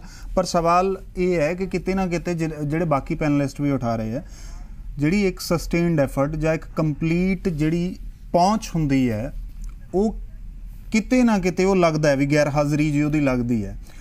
ਇਹ ਨੀਜਾ ਕਾਰਪੋਰੇਸ਼ਨ ਕਿਉਂ ਕਹੇ ਜਾਂਦੇ ਹੈਗੇ? ਤੁਹਾਡੇ ਤੇ ਇਹ ਗੱਲ ਕਿਉਂ ਉੱਠਦੀ ਹੈ ਕਿ ਇੱਕੋ ਦਮ ਚੇਤੇ ਆਇਆ, ਕੈਮਿਸਟਾਂ ਤੇ ਇੱਕੋ ਦਮ ਅਟੈਕ ਕਰ ਦੋ। ਪਿਛਲੇ ਡੇਢ ਸਾਲ ਦੇ ਵਿੱਚ ਇਸ ਪ੍ਰੋਬਲਮ ਨੂੰ ਕਿਸੇ ਨੇ ਪੁਆਇੰਟ ਆਊਟ ਹੀ ਨਹੀਂ। ਕੀਤਾ ਕਿ ਇਹ ਜਿਹੜੇ ਕੈਮਿਸਟ ਨੇ ਇੱਥੇ ਵੀ ਨਸ਼ੇ ਦੀ ਸਮਗਲਿੰਗ ਜਾਂ ਇੱਥੇ ਵੀ ਜਿਹੜਾ ਨਸ਼ਾ ਹੈ ਉਹ ਮਿਲਦਾ ਹੈ ਇਹ ਇੱਕੋ ਦਮ ਕਿਉਂ ਦਿਮਾਗ ਦੇ ਵਿੱਚ ਆਇਆ ਇਹਦਾ ਮਤਲਬ ਇਹ ਹੈ ਕਿ ਕਿਤੇ ਨਾ ਕਿਤੇ ਕਮਿਊਨੀਕੇਸ਼ਨ ਦੀ ਪ੍ਰੋਬਲਮ ਤਾਂ ਹੈ। ਸਰ ਇਸ ਵੇਲੇ ਤਾਂ ਹੋਇਆ। ਨਹੀਂ ਸਰ ਸਰ ਸਰ, ਮੇਰੀ ਇੱਕ ਬੇਨਤੀ ਹੈ, ਤੁਸੀਂ ਪਿਛਲੇ ਡੇਢ ਸਾਲ ਤੋਂ ਕੈਮਿਸਟਾਂ ਦਾ ਰਿਕਾਰਡ ਚੈੱਕ ਕਰੋ। ਉਹਨਾਂ ਨੂੰ ਰੋਕਿਆ ਗਿਆ ਸੀ ਵੀ ਤੁਸੀਂ ਬਿਨਾ ਪ੍ਰਿਸਕ੍ਰਿਪਸ਼ਨ ਪਰਚੀ ਤੋਂ, ਡਾਕਟਰ ਦੀ ਤੋਂ ਦਵਾਈ ਨਹੀਂ ਦੇਣੀ, ਬਿਨਾ ਉਸ ਤੋਂ ਉਹ ਨਹੀਂ ਦੇਣਾ, ਲਗਾਤਾਰ ਉਹ ਚੈੱਕ ਹੁੰਦੇ ਰਹੇ, ਉਹਨਾਂ ਦੇ ਰਜਿਸਟਰ ਲੱਗੇ ਹੋਏ ਨੇ। ਔਰ ਉਹਨਾਂ ਨੂੰ ਪਰਚੀ ਦੇ ਉੱਤੇ ਮੋਹਰ ਲਾ ਕੇ ਦੇਣੀ ਪੈਂਦੀ ਹੈ। ਇਹ ਇਹ ਪਿਛਲੇ ਡੇਢ ਸਾਲ 'ਚ ਹੀ ਹੋਇਆ। ਇਹ ਜਿਹੜਾ ਸਰਕਾਰ ਦਾ ਹੀ ਐਕਸ਼ਨ ਸੀਗਾ ਕੈਮਿਸਟਾਂ ਦੇ ਉੱਤੇ। ਕੈਮਿਸਟਾਂ ਦਾ ਨੀ ਜਰਕ ਰਿਐਕਸ਼ਨ ਤੁਹਾਨੂੰ ਤਾਂ ਲੱਗਣ ਲੱਗ ਗਿਆ ਵੀ ਜਦੋਂ ਉਹਨਾਂ ਦੀਆਂ ਸਰਿੰਜਾਂ ਵਗੈਰਾ ਬੈਨ ਕੀਤੀਆਂ ਤਾਂ ਮੇਰੇ ਖਿਆਲ ਦੇ ਵਿੱਚ ਉਹਨਾਂ ਨੇ ਜ਼ਿਆਦਾ ਰਿਐਕਸ਼ਨ ਕੀਤਾ ਉਸ ਗੱਲ ਦਾ। ਪਰ ਇਦਾਂ ਦੀ ਕੋਈ ਗੱਲ ਨਹੀਂ ਵੀ ਪਿੱਛੇ ਉਹਨਾਂ ਦੇ ਹੁਣ ਨੀ ਜਰਕ ਰਿਐਕਸ਼ਨ ਹੈ। ਮੈਂ ਤੁਹਾਨੂੰ ਕਹਿਣਾ ਵੀ ਤੁਸੀਂ ਰਿਕਾਰਡ ਚੈੱਕ ਕਰੋ। ਹਰ ਕੈਮਿਸਟ ਨੂੰ ਮੋਹਰ ਲਾ ਕੇ ਦੇਣੀ ਪੈਂਦੀ ਸੀ ਵੀ ਮੈਂ ਇਹ ਦਵਾਈ ਡਾਕਟਰ ਦੀ ਪ੍ਰਿਸਕ੍ਰਿਪਸ਼ਨ ਤੇ ਦਿੱਤੀ ਉਹਨੂੰ ਆਪਦਾ ਰਜਿਸਟਰ ਮੇਨਟੇਨ ਕਰਨਾ ਪੈਂਦਾ ਔਰ ਉਹ ਰਜਿਸਟਰ ਮੇਨਟੇਨ ਕਰ ਰਹੇ ਨੇ ਪਿੱਛੇ ਤੋਂ। ਔਰ। ਮੈਂ ਤੁਹਾਨੂੰ ਪਹਿਲਾਂ ਵੀ ਵਿੱਚ ਕਿਹਾ ਹਰ ਜਗ੍ਹਾ ਦੇ ਉੱਤੇ ਕੋਈ ਨਾ ਕੋਈ ਗਲਤ ਅਨਸਰ ਵੀ ਹੁੰਦੇ ਆ ਜਿਹੜੇ ਕਿ ਇਹਨਾਂ ਚੀਜ਼ਾਂ ਦਾ ਫਾਇਦਾ ਵੀ ਉਠਾਉਂਦੇ ਆ। ਕਿਤੇ ਨਾ ਕਿਤੇ ਸਾਡੇ ਆਪਦੇ ਅਮਲੇ 'ਚ ਵੀ ਕਿਤੇ ਨਾ ਕਿਤੇ ਨੁਕਸ ਹੁੰਦਾ ਇਸ ਗੱਲ 'ਚੋਂ ਐਡਮਿਟ ਕਰਨ। 'ਚੋਂ ਸਾਨੂੰ ਕੋਈ ਉਹ ਨਹੀਂ ਜਿਹਦਾ ਕਿ ਫਾਇਦਾ ਇਹ ਲੋਕ ਉਠਾ ਲੈਂਦੇ ਆ। ਠੀਕ ਹੈ। ਲਗਾਤਾਰ ਵਿਚਾਰ ਚਰਚਾ ਚੱਲ ਰਹੀ ਸੀ ਜੋ ਸੱਤ ਸੂਬਿਆਂ ਦੇ ਵੱਲੋਂ ਹੁਣ ਕਾਮਨ ਸਟ੍ਰੈਟਜੀ ਬਣਾਉਣ ਦੀ ਕੋਸ਼ਿਸ਼ ਕੀਤੀ ਜਾ ਰਹੀ ਉੱਤਰੀ ਭਾਰਤ ਦੇ ਸੱਤ ਸੂਬੇ ਜਿਨ੍ਹਾਂ ਦੇ ਵਿੱਚੋਂ ਨਸ਼ੇ ਦੀ ਤਸਕਰੀ ਸਭ ਤੋਂ ਜ਼ਿਆਦਾ ਇੱਕ ਦੂਜੀ ਸਟੇਟ ਦੇ ਵਿੱਚ ਹੁੰਦੀ ਹੈ ਤੇ ਪੰਜਾਬ ਸਭ ਤੋਂ ਜ਼ਿਆਦਾ ਪ੍ਰਭਾਵਿਤ ਹੈ। ਇਸੇ ਦੇ ਨਾਲ ਜੁੜਿਆ ਹੋਇਆ ਅੱਜ ਦਾ ਸਵਾਲ ਇੱਕ ਵਾਰ ਫਿਰ ਤੁਹਾਨੂੰ ਦੱਸ ਦਈਏ ਕਿ ਸੱਤ ਸੂਬਿਆਂ ਦੇ ਵੱਲੋਂ ਨਸ਼ੇ ਤੇ ਸਾਂਝੀ ਨੀਤੀ ਬਣਾਉਣਾ ਸਹੀ ਫੈਸਲਾ ਹੈ। ਜਵਾਬ ਤੁਸੀਂ SMS ਦੇ ਰਾਹੀਂ 57575 ਤੇ ਭੇਜ ਸਕਦੇ ਹੋ। ਹਾਂ ਦੇ ਲਈ ZPHH ਸਪੇਸ Y, ਨਾ ਦੇ ਲਈ ZPHH ਸਪੇਸ N ਕੁਝ ਕਾਲਰ ਇਸ ਵਕਤ ਜੁੜੇ ਹੋਏ ਨੇ। ਪਹਿਲਾਂ ਕੁਝ ਕਾਲਸ ਲੈ ਲਈਏ, ਫਿਰ ਵਿਚਾਰ ਚਰਚਾ ਨੂੰ ਅੱਗੇ ਵਧਾਵਾਂਗੇ। ਪੁਸ਼ਪਿੰਦਰ ਜੁੜੇ ਹੋਏ ਨੇ ਮੁਕਤਸਰ ਸਾਹਿਬ ਤੋਂ। ਪੁਸ਼ਪਿੰਦਰ ਜੀ, ਸਵਾਗਤ ਹੈ ਤੁਹਾਡਾ। ਜੀ ਪੰਜਾਬ ਹਰਿਆਣਾ, ਹਿਮਾਚਲ ਤੇ ਸਤਿ ਸ਼੍ਰੀ ਅਕਾਲ ਜੀ। ਸਤਿ ਸ਼੍ਰੀ ਅਕਾਲ ਸਰ ਹਾਂਜੀ ਨਸ਼ਾ ਹੀ ਡੇਢ ਸਾਲ ਹੋ ਗਿਆ ਮੁਕਤਸਰ ਜ਼ਿਲ੍ਹੇ ਉਵੇਂ ਹੀ ਚੱਲੀ ਜਾਂਦਾ ਜੀ ਤੇ ਝੂਠੇ ਪਰਚਿਆਂ ਦੀ ਰਾਜਨੀਤੀ ਉਵੇਂ ਹੀ ਚੱਲੀ ਜਾਂਦੀ ਹੈ ਜੀ ਕੋਈ ਇਨਸਾਫ ਨਹੀਂ ਮਿਲਦਾ ਕੋਈ ਕੁਛ ਨਹੀਂ ਕੋਈ ਮੰਤਰੀ ਗੱਲ ਸੁਣ ਰਿਹਾ ਕੋਈ ਕੁਛ ਨਹੀਂ ਜੀ ਬਹੁਤ ਸ਼ੁਕਰੀਆ ਆਪਣੀ رائے ਰੱਖਣ ਦੇ ਲਈ ਕਰਨਜੀਤ ਨੇ ਅਗਲੇ ਕਾਲਰ ਪਟਿਆਲਾ ਤੋਂ ਕਰਨਜੀਤ ਜੀ ਸਵਾਗਤ ਹੈ ਤੁਹਾਡਾ ਵੀ ਹਾਂਜੀ ਹਾਂਜੀ ਜੀ ਆਪਣੀ رائے ਆਪਣੇ ਵਿਚਾਰ ਰੱਖ ਸਕਦੇ ਹੋ ਸਰ ਕੀ ਕਹਿਣਾ ਚਾਹੁੰਦੇ ਹੋ ਸਤਿ ਸ਼੍ਰੀ ਅਕਾਲ ਸਰ ਜੀ ਸਤਿ ਸ਼੍ਰੀ ਅਕਾਲ ਸਰ ਹੈਲੋ ਸਰ ਜੀ। ਮੈਂ ਬਰਾੜ ਸਾਹਿਬ ਦੀ ਗੱਲ ਨਾਲ ਬੜਾ ਸਹਿਮਤ ਹਾਂ ਜੀ ਬਰਾੜ ਸਾਹਿਬ ਨੇ ਕਿਹਾ ਵੀ ਨੌਜਵਾਨ ਨਜਾਇਜ਼ ਜਿਹੜੇ ਫਸਾਏ ਜਾ ਰਹੇ ਨੇ ਜੀ ਬਿਲਕੁਲ ਸਹੀ ਆ ਇੰਨੇ ਨੌਜਵਾਨ ਮਾਮਾ ਦੇ ਪੁੱਤ ਜੇਲ੍ਹਾਂ ਚ ਰੋਲ ਕੇ ਇਹਨਾਂ ਨੇ ਨਜਾਇਜ਼ ਝੂਠੇ ਕੇਸ ਪਾ ਪਾ ਕੇ ਹਜ਼ਾਰਾਂ ਕੇਸ ਮੈਂ ਦੱਸ ਸਕਦਾ ਪਾਏ ਹੋਏ ਇਹਨਾਂ ਦੇ ਠੀਕ ਹੈ ਠੀਕ ਹੈ ਬਹੁਤ ਸ਼ੁਕਰੀਆ ਆਪਣੀ رائے ਰੱਖਣ ਦੇ ਲਈ ਕਰਨਜੀਤ ਜੀ ਤੇ ਆਪਣਾ ਗੈਸਟ ਜਿਹੜੇ ਨੇ ਉਹਨਾਂ ਦੇ ਵੱਲ ਵਧਾਂਗੇ। ਸੁਖਦੇਵ ਸਿੰਘ, ਪਹਿਲਾ ਸਵਾਲ ਤੁਹਾਡੇ ਤੋਂ ਹੀ ਫਿਰ। ਕੁਝ ਕਾਲਰ ਇਸ ਤੁਸੀਂ ਸੁਣੀ ਹੋਣੀ ਹੈ ਗੱਲ। ਹਾਲਾਂਕਿ ਇਸ ਗੱਲ ਦੀ ਕੋਈ ਅਧਿਕਾਰਿਕ ਪੁਸ਼ਟੀ ਨਹੀਂ ਕਹੀ ਜਾ ਸਕਦੀ ਇੱਕ ਕਾਲ ਪਰ ਇਹ ਲਗਾਤਾਰ ਚਰਚਾਵਾਂ ਉੱਠਦੀਆਂ ਨੇ ਕਿ ਹਲੇ ਵੀ ਜਿਹੜੇ ਫਾਲਸ ਇੰਪਲੀਕੇਸ਼ਨਸ ਹੋ ਰਹੀਆਂ ਨੇ ਡਰਗ ਪੈਡਲਿੰਗ ਦੇ ਵਿੱਚ। ਇਹ ਕਿਉਂ ਉੱਠਦੀਆਂ ਸਰ ਬਾਰ-ਬਾਰ ਦੇਖੋ, ਗੱਲ ਇਹ ਹੈ ਜੀ ਵੀ ਇਨ ਆਈਸੋਲੇਸ਼ਨ ਇਹਨੇ ਇਨ ਆਈਸੋਲੇਸ਼ਨ ਚ ਕੋਈ ਕੇਸ ਹੋਵੇ ਤਾਂ ਮੈਂ ਕਹਿ ਨਹੀਂ ਸਕਦਾ, ਪਰ ਜਿਵੇਂ ਉਥੋਂ ਕਾਲਰ ਦੀ ਆਪਾਂ ਗੱਲ ਕਰੀਏ, ਉਹ ਤਾਂ ਕਹਿੰਦਾ ਹਜ਼ਾਰਾਂ, ਉਹਨੇ ਤਾਂ ਜੇ ਆਪਣਾ ਇੱਕ- 21000 ਪਰਚਾ ਤਾਂ ਉਹਨੇ 21000 ਹੀ ਉਹਨੇ ਸਾਰੇ ਹੀ ਕਰਤੇ, ਗਿਣਤੇ। ਇਸ ਕਰਕੇ ਉਹ ਕਹਿੰਦਾ ਮੈਂ ਦੱਸ ਸਕਦਾ, ਮੈਂ ਦਿਖਾ ਸਕਦਾ, ਇਸ ਕਰਕੇ ਇਹਨਾਂ ਗੱਲਾਂ ਦੀ ਕੋਈ ਅਥੈਂਟਿਸਿਟੀ ਨਹੀਂ ਹੁੰਦੀ। ਵੀ ਐਦਾਂ ਦੀ ਮੈਂ ਇਸ ਗੱਲ ਦੇ ਉੱਤੇ, ਮੈਂ ਨਹੀਂ ਇਸ ਗੱਲ ਦੀ ਸਫ਼ਾਈ ਦੇਣੀ ਵੀ ਕੋਈ ਵੀ ਨਹੀਂ ਹੁੰਦਾ, ਦੇਖੋ, ਮੈਂ ਤੁਹਾਨੂੰ ਕਹਿੰਦਾ ਆਈਸੋਲੇਸ਼ਨ ਕੋਈ ਹੋ ਵੀ ਜਾਂਦਾ, ਪਰ ਉਹਨਾਂ ਨੇ ਜੇ ਕਿਸੇ ਨੇ ਕੀਤੀ, ਉਹਨੇ ਭੁਗਤਿਆ ਵੀ ਹੈ। ਭੁਗਤਿਆ ਵੀ ਉਸ ਪੁਲਿਸ ਵਾਲੇ ਨੇ ਜੇ ਕਿਸੇ ਪੁਲਿਸ ਵਾਲੇ ਨੇ ਅੱਜ ਕਿਸੇ ਨੂੰ ਫਸਾਉਣ ਦੀ ਕੋਸ਼ਿਸ਼ ਕੀਤੀ ਹੈ ਉਹਦੇ ਬਕਾਇਦਾ ਤੌਰ ਤੇ ਉਹਨਾਂ ਦੇ ਐਕਸ਼ਨ ਵੀ ਹੋਏ ਆ ਤੇ ਉਹਨਾਂ ਦੇ ਉੱਤੇ ਐਕਸ਼ਨ ਹੋ ਕੇ ਉਹਨਾਂ ਦੇ ਉੱਤੇ ਵੀ ਸਵਾਲ। ਪਰਚੇ ਹੋਏ। ਹਾਂ, ਇਹੀ ਸਵਾਲ। ਕੀ- ਕੀ- ਗੱਲ ਨਹੀਂ ਜੇ ਕਿਤੇ ਕੋਈ ਹੁੰਦਾ ਉਹ। ਧਿਆਨ ਚ ਲਿਆਉਣ ਲਿਆਉਣਾ ਚਾਹੀਦਾ ਠੀਕ ਹੈ ਇਹੀ ਸਵਾਲ ਹੁਣ ਨੀਲ ਗਰਗ ਜੀ ਤੁਹਾਡੇ ਤੋਂ ਇਹੀ ਸਵਾਲ ਕਿ ਸੁਖਦੇਵ ਸਿੰਘ ਜੀ ਜਿਹੜਾ ਦਾਵਾ ਕਰ ਰਹੇ ਕਿ ਜਿਹੜੇ ਪੁਲਿਸ ਮੁਲਾਜ਼ਮਾਂ ਨੇ ਕੁਝ ਗਲਤ ਕੀਤਾ ਉਹਨਾਂ ਨੇ ਭੁਗਤਿਆ ਹੈ ਕੀ ਤੁਹਾਨੂੰ ਲੱਗਦਾ ਪਿਛਲੇ 10 ਸਾਲਾਂ ਦੇ ਵਿੱਚ ਵੀ ਬਹੁਤ ਕੁਝ ਗਲਤ ਹੋਇਆ ਕੀ ਉਹਨਾਂ ਨੇ ਭੁਗਤਿਆ ਕੀ ਉਹ ਜਾਂਚਾਂ ਹੋਈਆਂ? ਮੈਂ ਤੇ ਸਰ ਤੁਹਾਨੂੰ ਪਹਿਲ ਸਰ ਮੈਂ ਤੁਹਾਨੂੰ ਪਹਿਲਾਂ ਵੀ ਕਿਹਾ ਸੀ ਕਿ ਜੇਕਰ 21517 ਨਸ਼ਾ ਤਸਕਰ ਫੜੇ ਗਏ ਆ ਫਿਰ ਪੰਜਾਬ ਦੇ ਵਿੱਚ ਨਸ਼ਾ ਅੱਜ ਵੀ ਕਿਵੇਂ ਵਿਕਦਾ? ਅੱਜ ਵੀ ਕਿਉਂ ਚੱਲ ਰਿਹਾ? ਕੁਐਸਚਨ ਮਾਰਕ ਆਪਣੇ ਆਪ 'ਚ ਹੀ ਹੈਗਾ। 21000 ਬਹੁਤ ਵੱਡੀ ਫਿਗਰ ਹੁੰਦੀ ਆ। ਇਹ ਜਿਹੜੀ ਅੱਜ ਜਿਹੜੀ ਮੀਟਿੰਗ ਹੋਈ ਹੈ ਤਾਂ ਬਿਲਕੁਲ ਕੰਮ ਕਰੇਗੀ ਸਟ੍ਰੈਟਜੀ ਇਹ। ਇਹ ਲੇਕਿਨ ਨਤੀਜੇ ਉਦੋਂ ਦੇਗੀ ਜਦੋਂ ਪੂਰੀ ਇੱਛਾ ਸ਼ਕਤੀ ਦੇ ਨਾਲ ਜਿਹ- ਜਿਹੜਾ ਅਸਲੀ ਦੋਸ਼ੀ ਹੈ ਉਹਨੂੰ ਫੜੋਗੇ। ਤੁਸੀਂ 21517 ਦੇ ਵਿੱਚੋਂ ਕੋਈ ਐਸੇ 10 ਨਾਮ ਦੱਸ ਦਿਓ ਜਿਹੜੇ ਵੱਡੇ ਤਸਕਰ ਫੜੇ ਗਏ ਹੁਣ। ਠੀਕ। ਹੈ ਨਾ? ਇਹ ਉਹ ਬੰਦੇ ਨੇ ਜਿਹੜੇ ਵਿਚਾਰੇ ਨਸ਼ਾ ਕਰਦੇ ਹੋਣੇ ਆ ਉਹਨਾਂ ਨੂੰ ਫੜ ਕੇ ਅੰਦਰ ਡੱਕਤਾ। ਇਹਦੇ ਜਿਹੜੇ ਪ੍ਰੋਬਲਮ ਜੇ ਹੱਲ ਕਰਨੀ ਹੈ ਦੋ ਲੈਵਲ ਤੇ ਕੰਮ ਕਰਨਾ ਪੈਣਾ। ਇੱਕ ਤੇ ਜਿੱਥੇ ਵੱਡੇ ਤਸਕਰ ਹੈਗੇ ਉਹਨਾਂ ਨੂੰ ਫੜਨਾ ਪੈਣਾ। ਦੂਜੇ ਬੰਦੇ ਜਿਹੜੇ ਕਿ ਰੀਹੈਬਿਲਿਟੇਸ਼ਨ ਉਸ ਤੋਂ ਵੀ ਜ਼ਿਆਦਾ ਇੰਪੋਰਟੈਂਟ ਹੈ ਕਿਉਂਕਿ ਜੋ ਨਸ਼ੇ ਦੇ ਆਦੀ ਹੋ ਚੁੱਕੇ ਉਹ ਸਾਡੇ ਸਮਾਜ ਦੇ ਅੰਗ ਨੇ। ਠੀਕ ਹੈ ਨਾ? ਉਹਨਾਂ ਨੂੰ ਸਮਾਜ ਤੋਂ ਆਈਸੋਲੇਟ ਨਹੀਂ ਕੀਤਾ ਜਾ ਸਕਦਾ। ਰੀਹੈਬਿਲਿਟੇਸ਼ਨ ਵਾਸਤੇ ਤੁਸੀਂ ਆਪ ਦੱਸੋ ਮੈਂ ਬਠਿੰਡੇ ਜ਼ਿਲ੍ਹੇ ਨੂੰ ਬਿਲੋਂਗ ਕਰਦਾ। ਪੂਰੇ ਬਠਿੰਡੇ ਜ਼ਿਲ੍ਹੇ ਦੇ ਵਿੱਚ ਇੱਕ ਰੀਹੈਬਿਲਿਟੇਸ਼ਨ ਸੈਂਟਰ ਹੈਗਾ। ਜਦ ਕਿ ਮਾਲਵਾ ਦੇ ਵਿੱਚ ਨਸ਼ਾ ਦੀ ਜਾਨੀ ਕਿ ਇੰਨੀ ਵੱਡੀ ਪ੍ਰੋਬਲਮ ਹੈਗੀ ਹੈ ਤਾਂ ਸਰਕਾਰ ਜਦੋਂ ਤੱਕ ਰੀਹੈਬਿਲਿਟੇਸ਼ਨ ਵੱਲ ਧਿਆਨ ਨਹੀਂ ਦਿੰਦੀ ਉਦੋਂ ਤੱਕ ਸਾਰਥਕ ਨਤੀਜੇ ਨਹੀਂ ਆ ਸਕਦੇ। ਆਪਾਂ ਗੱਲ ਕਰ ਰਹੇ ਸੀ ਕੈਮਿਸਟਾਂ ਦੀ। ਸ- ਸੁਖਦੇਵ ਬ- ਬਾਈ ਜੀ ਕਹਿ ਰਹੇ ਸੀ ਕਿ ਜਿਹੜਾ ਹੈਗਾ ਵੀ ਹੁਣ ਡੇਢ ਸਾਲ ਤੋਂ ਉੱਥੇ ਰਜਿਸਟਰ ਲੱਗੇ ਹੈਗੇ ਆ। ਇਹਨਾਂ ਨੂੰ ਪਤਾ ਹੋਣਾ ਚਾਹੀਦਾ ਹੈ, ਫਾਰਮੇਸੀ ਕਾਉਂਸਲ ਆਫ ਇੰਡੀਆ ਜਿਹੜਾ ਹੈਗਾ, ਸਾਰਾ ਜਿਹੜੇ ਲਾਅ ਪਹਿਲਾਂ ਬਣੇ ਹੋਏ ਹੈ ਕਮਿਸਟ ਵੈਸੇ ਵੀ ਜਿਹੜਾ ਹੈਗਾ, ਕੋਈ ਵੀ ਦਵਾਈ ਜਿਹੜੀ ਹੈਗੀ ਹੈ ਬਿਨਾਂ ਪ੍ਰਸਕ੍ਰਿਪਸ਼ਨ ਤੋਂ ਦੇ ਨਹੀਂ ਸਕਦਾ। ਉਹਨੂੰ ਚੈੱਕ ਕਰਨ ਦਾ ਅਧਿਕਾਰ ਡਰੱਗ ਇੰਸਪੈਕਟਰ ਕੋਲੇ ਹੈਗਾ। ਜਿਸ ਦਾ ਕੰਮ ਹੈ ਉਹ ਕਰਦਾ ਨਹੀਂ ਡਰੱਗ ਇੰਸਪੈਕਟਰ ਦੀਆਂ ਵੈਕੈਂਸੀਆਂ ਨੇ ਪੰਜਾਬ 'ਚ। ਉਹ ਇਹਨਾਂ ਤੋਂ ਪੂਰੀਆਂ ਹੁੰਦੀਆਂ ਨਹੀਂ।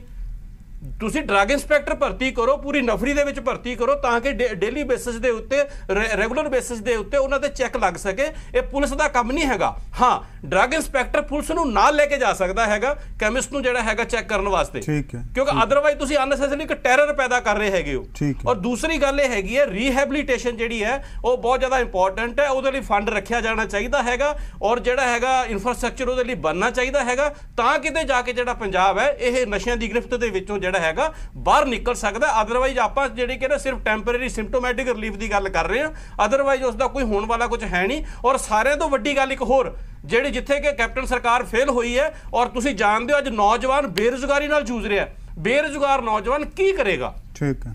ਬੇਰੋਜ਼ਗਾਰੀ ਵੀ ਕਿਤੇ ਨਾ ਠੀਕ ਹੈ, ਕਿਤੇ ਬਰਾੜ- ਕੰਟਰੀਬਿਊਟ ਕਰ ਰਹੀ ਹੈਗੀ। ਇਸ ਦੇ ਵਿੱਚ ਯਾਨੀ ਕਿ ਨਸ਼ਿਆਂ ਦੀ ਉਸ ਦੇ ਵਿੱਚ। ਸੋ ਦੋ ਚੀਜ਼ਾਂ ਦੇ ਚੀਜ਼ਾਂ ਦੇ ਦੋ ਚੀਜ਼ਾਂ ਦੇ ਉੱਤੇ ਇਹ ਕੰਮ ਕਰ ਲੈਣ। ਇੱਕ ਤੇ ਬੇਰੋਜ਼ਗਾਰੀ ਦੇ ਉੱਤੇ ਕੰਮ ਕਰ ਲੈਣ ਇੱਕ ਰੀਹੈਬਿਲਿਟੇਸ਼ਨ ਦੇ ਉੱਤੇ ਕੰਮ ਕਰ ਲੈਣ ਔਰ ਵੱਡੇ ਤਸਕਰਾਂ ਨੂੰ ਫੜ ਲੈਣ ਪੰਜਾਬ 'ਚੋਂ ਨਸ਼ਾ ਖਤਮ ਹੋ ਸਕਦਾ। ਠੀਕ ਹੈ। ਗੁਰਪ੍ਰੀਤ ਜੀ, ਬਰਾੜ ਸਾਹਿਬ ਜਿਸ ਤਰ੍ਹਾਂ ਦੀ ਅਪਰੋਚ ਪੰਜਾਬ ਸਰਕਾਰ ਦੇ ਵੱਲੋਂ ਜਾਂ ਪੰਜਾਬ। ਜੀ ਜਿਸ ਤਰ੍ਹਾਂ ਦੀ ਅਪਰੋਚ ਪੰਜਾਬ ਸਰਕਾਰ ਦੇ ਵੱਲੋਂ ਜਾਂ ਪੁਲਿਸ ਦੇ ਵੱਲੋਂ ਹੁਣ ਤੱਕ ਡਰਗ ਅਬਿਊਜ਼ ਨੂੰ ਰੋਕਣ ਦੇ ਲਈ ਰੱਖੀ ਗਈ ਹੈ। ਤੁਹਾਨੂੰ ਲੱਗਦਾ ਹੈ ਇਹ ਬਿਲਕੁਲ ਸਹੀ ਅਪਰੋਚ ਹੈ ਜਾਂ ਇਸ ਦੇ ਵਿੱਚ ਸੁਧਾਰ ਕਰਨ ਦੀ ਲੋੜ ਹੈ? ਜੇ ਸੁਧਾਰ ਕਰਨੇ ਆ ਤਾਂ ਕੀ ਹੋ ਸਕਦੇ ਆ? ਦੇਖੋ ਜੀ ਸੁਧਾਰ ਦੀ ਤਾਂ ਗੁੰਜਾਇਸ਼ ਹਮੇਸ਼ਾ ਹੀ ਰਹਿੰਦੀ ਹੈ। ਪਹਿਲੀ ਗੱਲ ਜਿੱਥੋਂ ਮੇਰੇ ਦੋਸਤ ਨੇ ਛੱਡਿਆ ਉੱਥੋਂ ਮੈਂ ਸ਼ੁਰੂ ਕਰੂੰਗਾ ਜਿਵੇਂ ਪਹਿਲਾਂ ਕਿਹਾ ਕਿ ਜਿੰਨਾ ਚਿਰ ਰੀਹੈਬਿਲਿਟੇਸ਼ਨ ਵਾਸਤੇ ਆਪਾਂ ਕੁਝ ਨਹੀਂ ਨਾ ਜੀ ਕਰਦੇ ਉਹਨਾਂ ਚਿਰ ਇਹ ਸਿਰਫ ਇੱਕ ਫਿਊਟਾਈਲ ਐਕਸਰਸਾਈਜ਼ ਆ। ਤੁਸੀਂ ਇੱਕ ਸਟੈਪ ਚੱਕ ਲਿਆ ਤੁਸੀਂ ਦੂਜਾ ਚੱਕੋਗੇ ਨਹੀਂ ਤਾਂ ਤੁਸੀਂ ਉੱਥੇ ਹੀ ਖੜੇ ਰਹਿ ਜਾਓਗੇ। ਹੁਣ ਰੀਹੈਬਿਲਿਟੇਸ਼ਨ ਦਾ ਤਾਂ ਹਾਲ ਇਹ ਹੈ ਕਿ ਫਿਰੋਜ਼ਪੁਰ ਤੋਂ ਅੱਜ ਤੁਹਾਡੇ ਚੈਨਲ ਤੋਂ ਹੀ ਮੈਂ ਖਬਰ ਸੁਣ ਰਿਹਾ ਸੀਗਾ ਕਿ ਜਿਹੜਾ ਨਸ਼ਾ ਛਡਾਊ ਕੇਂਦਰ ਆ ਉਹਦੇ ਮੁਲਾਜ਼ਮ ਹੜਤਾਲ ਤੇ ਨੇ ਜੀ। ਤਾਂ ਜਿਹੜੇ ਬੰਦੇ ਉੱਥੇ ਦਾਖਲ ਨੇ ਤਾਂ ਉਹਨਾਂ ਦਾ ਫਿਰ ਆਪਾਂ ਕੀ ਉਹਦਾ ਉਹਨਾਂ ਦਾ ਕੀ ਹੋਊਗਾ ਆਪਾਂ ਆਪ ਹੀ ਸੋਚ ਸਕਦੇ ਆ ਤਾਂ ਇਹ ਇਹ ਇਹ ਪ੍ਰੋਬਲਮ ਕੀ ਹੈ? ਇਹਨਾਂ ਨੂੰ ਤਨਖਾਹਾਂ ਨਹੀਂ ਮਿਲਦੀਆਂ ਜੀ ਇਹਨਾਂ ਦੀਆਂ ਤਨਖਾਹਾਂ ਘੱਟ ਨੇ ਜੀ। ਫਿਰ ਤੁਹਾਡਾ ਜਿਹੜਾ ਇੱਕ ਫੰਡ ਤੁਸੀਂ 100 ਕਰੋੜ ਦਾ ਬਣਾਇਆ ਉਹ- ਉਹਦਾ ਤੁਸੀਂ ਕੀ ਕਰਦੇ ਹੋ ਜੇ? ਉਹਨਾਂ ਨੂੰ ਤਨਖਾਹਾਂ ਹੀ ਨਹੀਂ ਦੇ ਸਕਦੇ। ਇੱਕ ਪਹਿਲੀ ਗੱਲ ਇਹ, ਜੇ ਤੁਸੀਂ ਇੱਕ ਰੋਕਥਾਮ ਦਾ ਬਣਾ ਰਹੇ ਹੋ, ਤਾਂ ਤੁਹਾਨੂੰ ਉਹਦੇ ਲਈ ਇੱਕ ਰੀਹੈਬਿਲਿਟੇਸ਼ਨ ਦਾ ਵੀ ਬਣਾਉਣਾ ਪੈਣਾ। ਵਿਦਡਰਾਲ ਸਿੰਪਟਮਸ ਜਿਹੜੇ ਹੁੰਦੇ ਆ, ਉਹਨਾਂ ਨੂੰ ਕੰਟਰੋਲ ਕਰਨ ਵਾਸਤੇ ਕੁਝ ਨਾ ਕੁਝ ਤਾਂ ਉਹਨਾਂ ਨੂੰ ਤੁਸੀਂ ਦਿਓਗੇ ਜਿਹੜੇ ਐਡਿਕਟਸ ਨੇ। ਸੋ ਇੱਕ ਇੱਕ ਇੱਕ ਰੀਹੈਬਿਲਿਟੇਸ਼ਨ ਦਾ ਬਹੁਤ ਜ਼ਰੂਰੀ ਮੁੱਦਾ ਜਿਹੜਾ ਮੇਰੇ ਦੋਸਤ ਨੇ ਚੁੱਕਿਆ, ਮੈਂ ਉਹਦੇ, ਉਹਦੀ ਹਮਾਇਤ ਕਰਦਾ। ਦੂਸਰੀ ਗੱਲ ਸੀ ਜਿਹੜੀ ਜਿਹੜੀ ਜਾਲੀ ਪਰਚਿਆਂ ਦੀ ਮੇਰੇ ਕਾਂਗਰਸ ਵਾਲੇ ਵੀਰ ਕਹਿ ਰਹੇ ਸੀਗੇ ਕਿ ਆਈਸੋਲੇਸ਼ਨ ਦੇ ਵਿੱਚ ਇੱਕ ਤਾਂ ਆਉਂਦਾ ਅੱਜ ਮੈਂ ਇੱਕ ਰਿਪੋਰਟ ਪੜ੍ਹ ਰਿਹਾ ਸੀ ਸਰ 11500 ਪਰਚਾ ਇਹ ਜਿਹਾ ਜਿਹਦੇ ਵਿੱਚ ਚਲਾਨ ਦੀ ਜਿਹੜੀ report A to Z same ਆ ਸਿਰਫ Same ਨਾਂ ਰੱਖੀ ਹੈ। ਬਦਲੇ ਹੋਏ ਆ। ਹਾਂ। ਜਿਹੜੀ ਚਲਾਨ ਆਪਾਂ ਕੇਸ ਦੇ ਵਿੱਚ ਪੇਸ਼ ਹੁੰਦਾ ਉਹ same to same A to Z ਠੀਕ ਹੈ ਤੁਸੀਂ ਰੈਂਡਮਲੀ ਚੱਕ ਲਓ। ਮੈਂ ਨਹੀਂ ਕਹਿੰਦਾ ਵੀ ਉਹ ਮੈਂ ਕਹਿੰਦਾ ਵੀ ਉਹ ਰਿਪੋਰਟ ਵੀ ਗਲਤ ਆ। ਤੁਸੀਂ ਰੈਂਡਮਲੀ ਚੱਕ ਲਓ। ਹਰ ਜ਼ਿਲ੍ਹੇ ਚੋਂ ਤੁਸੀਂ ਪੰਜ ਪਰਚੇ ਚੱਕ ਲਓ। ਅਲ- ਅਲੱਗ-ਅਲੱਗ ਥਾਣੇ ਚੋਂ ਇੱਕ ਇੱਕ ਪਰਚਾ ਚੱਕ ਲਓ। ਤੁਹਾਨੂੰ ਹਰੇਕ ਦੀ ਵਰਡਿੰਗ ਸੇਮ ਮਿਲੂਗੀ। ਉਹੀ ਰਿਕਵਰੀਆਂ ਪੁਲੀਆਂ ਤੋਂ ਹੀ ਹੁੰਦੀਆਂ ਨੇ ਉਹੀ ਬ੍ਰਿਜਸ ਤੋਂ ਹੁੰਦੀਆਂ। ਕਿਤੇ ਮੈਨੂੰ ਇੱਕ ਪਰਚਾ ਦਿਖਾ ਦਿਓ ਜਿੱਥੇ ਇਹਨਾਂ ਨੇ ਕਿਹਾ ਵੀ ਅਸੀਂ ਫਲਾਨੀ ਥਾਂ ਤੇ ਬੰਦੇ ਨੂੰ ਘਰੋਂ ਜਾ ਕੇ ਕਾਬੂ ਕੀਤਾ। ਕਿਉਂ? ਕਿਉਂਕਿ ਸਾਰਾ ਕੁਝ ਜਾਲੀ ਹੋ ਰਿਹਾ ਜੀ। ਉਹੀ ਅਡਿਕਟਸ ਨੂੰ ਫੜ ਫੜ ਅੰਦਰ ਸਿੱਟੀ ਜਾਂਦੇ ਆ ਜਿਹੜੇ ਮੇਨ ਬੰਦੇ ਹੈਗੇ ਜਿਹੜੇ ਵੇਚਦੇ ਹੈਗੇ ਉਹਨਾਂ ਨੂੰ ਕੋਈ ਫੜਦਾ ਨਹੀਂ। ਬਿਲਕੁਲ। ਠੀਕ ਹੈ? ਸੋ ਇਹ ਵੀ ਇਹਦੀ ਬਹੁਤ ਸੁਧਾਰ ਦੀ ਲੋੜ ਆ। ਜਿੰਨਾ ਚਿਰ ਵੀਡੀਓਗ੍ਰਾਫੀ ਨਹੀਂ ਹੁੰਦੀ ਹਰੇਕ ਜੇ ਤੁਸੀਂ ਟ੍ਰੈਫਿਕ ਵਾਲਿਆਂ ਦੇ ਤਾਂ ਤੁਸੀਂ ਕੈਮਰੇ ਲਾਏ ਹੋਏ ਵੀ ਚਲਾਨ ਗਲਤ ਨਾ ਕੱਟ ਦੇਣ। ਤੁਸੀਂ ਜਿਹੜੇ ਰੇਡ ਕਰਦੇ ਆ ਉਹਨਾਂ ਤੇ ਤੁਹਾਡੇ ਕੋਲ ਕੈਮਰੇ ਦਾ ਪ੍ਰੋਵੀਜ਼ਨ ਨਹੀਂ ਹੈਗਾ। ਬਿਲਕੁਲ। ਇਹ ਇਹ ਵੱਡਾ ਜਿੰਨਾ ਸਵਾਲ ਚਿਰ ਹੈ। ਇਸ ਚੀਜ਼ ਦੀ ਵੀਡੀਓਗ੍ਰਾਫੀ ਨਹੀਂ ਹੁੰਦੀ ਹਾਂ। ਜਿੰਨਾ ਚਿਰ ਇਹਦੀ ਸਕਰੂਟਨੀ ਨਹੀਂ ਹੁੰਦੀ ਉਹਨਾਂ ਚਿਰ ਇਹਦਾ ਕੋਈ ਹੱਲ ਨਹੀਂ। ਠੀਕ ਹੈ। ਸੁਖਦੇਵ ਸਿੰਘ ਜੀ ਇਹਦੇ ਤੇ ਜਵਾਬ ਦੇਣਾ ਚਾਹੋਗੇ ਇਹ ਵੱਡੀ ਸਮੱਸਿਆ ਹੈ ਆਪਣੇ ਆਪ ਦੇ ਵਿੱਚ। ਔਰ ਪਿਛਲੇ ਦਿਨਾਂ ਦੇ ਵਿੱਚ ਇਹ ਰਿਪੋਰਟ ਬੜੀ ਛਾਇਆ ਹੋਈ। ਕਿ ਜਿਹੜੇ ਇਸ ਤਰੀਕੇ ਦੇ ਪਰਚੇ ਕੱਟੇ ਗਏ ਹੈਗੇ ਉਹ ਸਭ ਦਾ ਪੈਟਰਨ ਇੱਕ ਹੋ। ਜਾਏ ਸੱਜੀ ਜੇਬ ਦੇ ਵਿੱਚੋਂ ਆ ਨਿਕਲਿਆ ਸੱਜੇ ਵਾਲੇ ਪਾਸੇ ਮੁਲਜ਼ਮ ਭੱਜਿਆ ਪੁਲਿਸ ਨੇ ਰੇਡ ਕੀਤੀ ਫੜਿਆ। ਸਭ ਦੀ ਵਰਡਿੰਗ ਸਭ ਦਾ ਪੈਟਰਨ ਇੱਕ ਹੋ। ਜਾਏ ਇਹਦੇ ਤੋਂ ਸ਼ੱਕ ਤਾਂ ਪੈਂਦਾ ਹੀ ਹੈ ਨਾ ਕਿ ਕਿਤੇ ਨਾ ਕਿਤੇ ਕੁਝ ਘਾਲਮੇਲ ਹੈਗਾ। ਫਿਰ ਇਹ ਚੀਜ਼ਾਂ ਨੂੰ ਰੋਕਣ ਦੇ ਲਈ ਪੁਲਿਸ ਨੂੰ ਕਿਉਂ ਨਹੀਂ ਟੈਕਨੀਕਲੀ ਸਟਰੋਂਗ ਕੀਤਾ ਜਾਂਦਾ ਸਾਊਂਡ ਕੀਤਾ ਜਾਂਦਾ?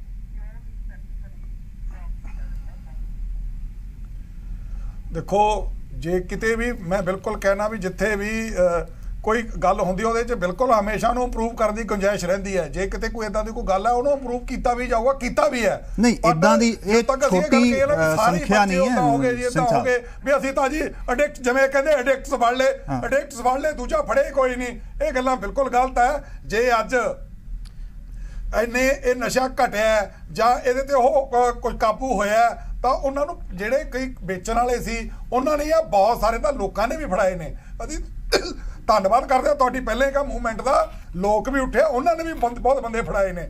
ਪਰ ਠੀਕ ਹੈ ਵੀ ਹੁਣ ਜੇ ਬੰਦਾ ਕੋਈ ਐਦਾਂ ਦੀ ਕੋਈ ਗੱਲ ਹੈਗੀ ਹੈ, ਜਿਵੇਂ ਆਪਾਂ ਕਿਹਾ ਵੀ ਉਹ ਪੁੜੀ ਤੇ ਫੜਿਆ ਜਾਂ ਹੋਰ ਕੀਤਾ, ਔਰ ਵੈਸੇ ਵੀ ਮੈਂ ਇੱਕ ਗੱਲ ਦੱਸਾਂ ਵੀ ਮੈਕਸਿਮਮ ਜਿਹੜਾ ਹੈਗਾ ਜਦੋਂ ਨਾਕੇ ਪੁਲਿਸ ਰਾਤ ਨੂੰ ਲਾਉਂਦੀ ਆ, ਫੜੇ ਬੰਦੇ ਉਦੋਂ ਹੀ ਜਾਂਦੇ ਆ।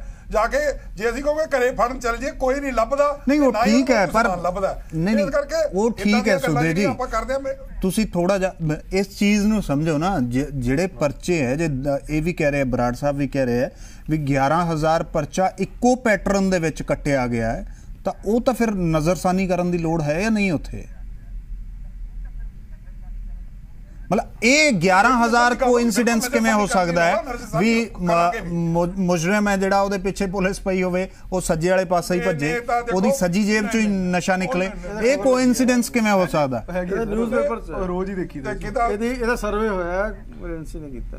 ਤੇ ਇਸ ਕਰਕੇ ਕੋਈ ਇਦਾਂ ਦੀ ਜੇ ਕੋਈ ਗੱਲ ਹੋਊਗੀ ਉਹਦੇ ਨਜ਼ਰਸਾਨੀ ਹੋਊਗੀ ਵੀ ਇਹ 'ਚ ਕੋਈ ਇਸ਼ੂ ਨਹੀਂ ਹੈਗਾ ਵੀ ਨਾ ਹੋਵੇ ਜੇ ਮੈਂ ਤਾਂ ਤੁਹਾਨੂੰ ਪਹਿਲਾਂ ਕਿਹਾ ਹਰ ਜਗ੍ਹਾ ਹਰ ਇੱਕ ਐਕਸ਼ਨ ਨੂੰ ਉਹਦੇ ਤੇ ਜਿਹੜਾ ਹੈਗਾ ਕਰਕੇ ਹਰ ਇੱਕ ਚੀਜ਼ ਨੂੰ ਇੰਪਰੂਵ ਕਰਨ ਦੀ ਜਿਹੜੀ ਹੈਗਾ ਵੀ ਗੁੰਜਾਇਸ਼ ਰਹਿੰਦੀ ਔਰ ਸਾਨੂੰ ਕਰਨਾ ਵੀ ਚਾਹੀਦਾ ਤੇ ਠੀਕ ਹੈ। ਇਹ ਜਿਹੜੇ ਆਪਾਂ ਟੀਵੀ ਚੈਨਲਸ ਤੇ ਬੈਠਦੇ ਆ ਇਹ ਤੇ ਬਹਿਸ ਹੁੰਦੀ ਆ ਇਹ ਤਾਂ ਕੁਝ ਸਰਕਾਰ ਵੀ ਸਿੱਖਦੀ ਆ ਅਸੀਂ ਵੀ ਸਿੱਖ ਕੇ ਜਾਂਦੇ ਅਸੀਂ ਆਪਣੀ ਗੱਲ ਰੱਖਦੇ ਵੀ ਆ ਜਾ ਕੇ। ਠੀਕ- ਹੈ, ਤਾਂ ਪਰ- ਵੀ ਉਹਦੇ ਤੇ ਅਸੀਂ ਕੋਈ ਕੋਈ ਐਕਸ਼ਨ ਨਹੀਂ ਹੁੰਦਾ। ਠੀਕ ਹੈ ਉਹੀ ਜਿਹੜੀ ਆਪਾਂ ਗੱਲ ਕਰ ਰਹੇ ਹਾਂ ਕਿਉਂ ਨਾ ਪੁਲਿਸ ਹੈ। ਇਸ ਤਰ੍ਹਾਂ ਦੇ ਮਾਮਲਿਆਂ ਦੀ ਕਿਉਂਕਿ ਪਿਛਲੇ ਦਿਨੀ ਹਾਈ ਕੋਰਟ ਨੇ ਵੀ ਇਹ ਕਿਹਾ ਬਾਕੀ ਸੀ। ਰਿਹੈਬਿਲਿਟੇਸ਼ਨ ਤੇ ਮੈਂ ਗੱਲ ਜ਼ਰੂਰ ਰੱਖਣੀ ਚਾਹੂੰਗਾ। ਹਾਂ ਹੈਬਿਲਿਟੇਸ਼ਨ ਤੇ ਵੀ ਆਉਣਾ ਸਰ ਮੈਂ। ਰਿਹੈਬਿਲਿਟੇਸ਼ਨ ਤੇ ਮੈਂ ਰੀਹੈਬਿਲਿਟੇਸ਼ਨ ਤੇ ਵੀ ਆਉਣਾ। ਪਹਿਲਾ। ਸਵਾਲ ਇਹ ਥੋੜਾ ਜਿਹਾ ਇੰਪੋਰਟੈਂਟ ਹੈ ਸੁਦੇ ਜੀ। ਹਾਂ। ਇਹ ਥੋੜਾ ਜਿਹਾ ਇੰਪੋਰਟੈਂਟ ਹੈ।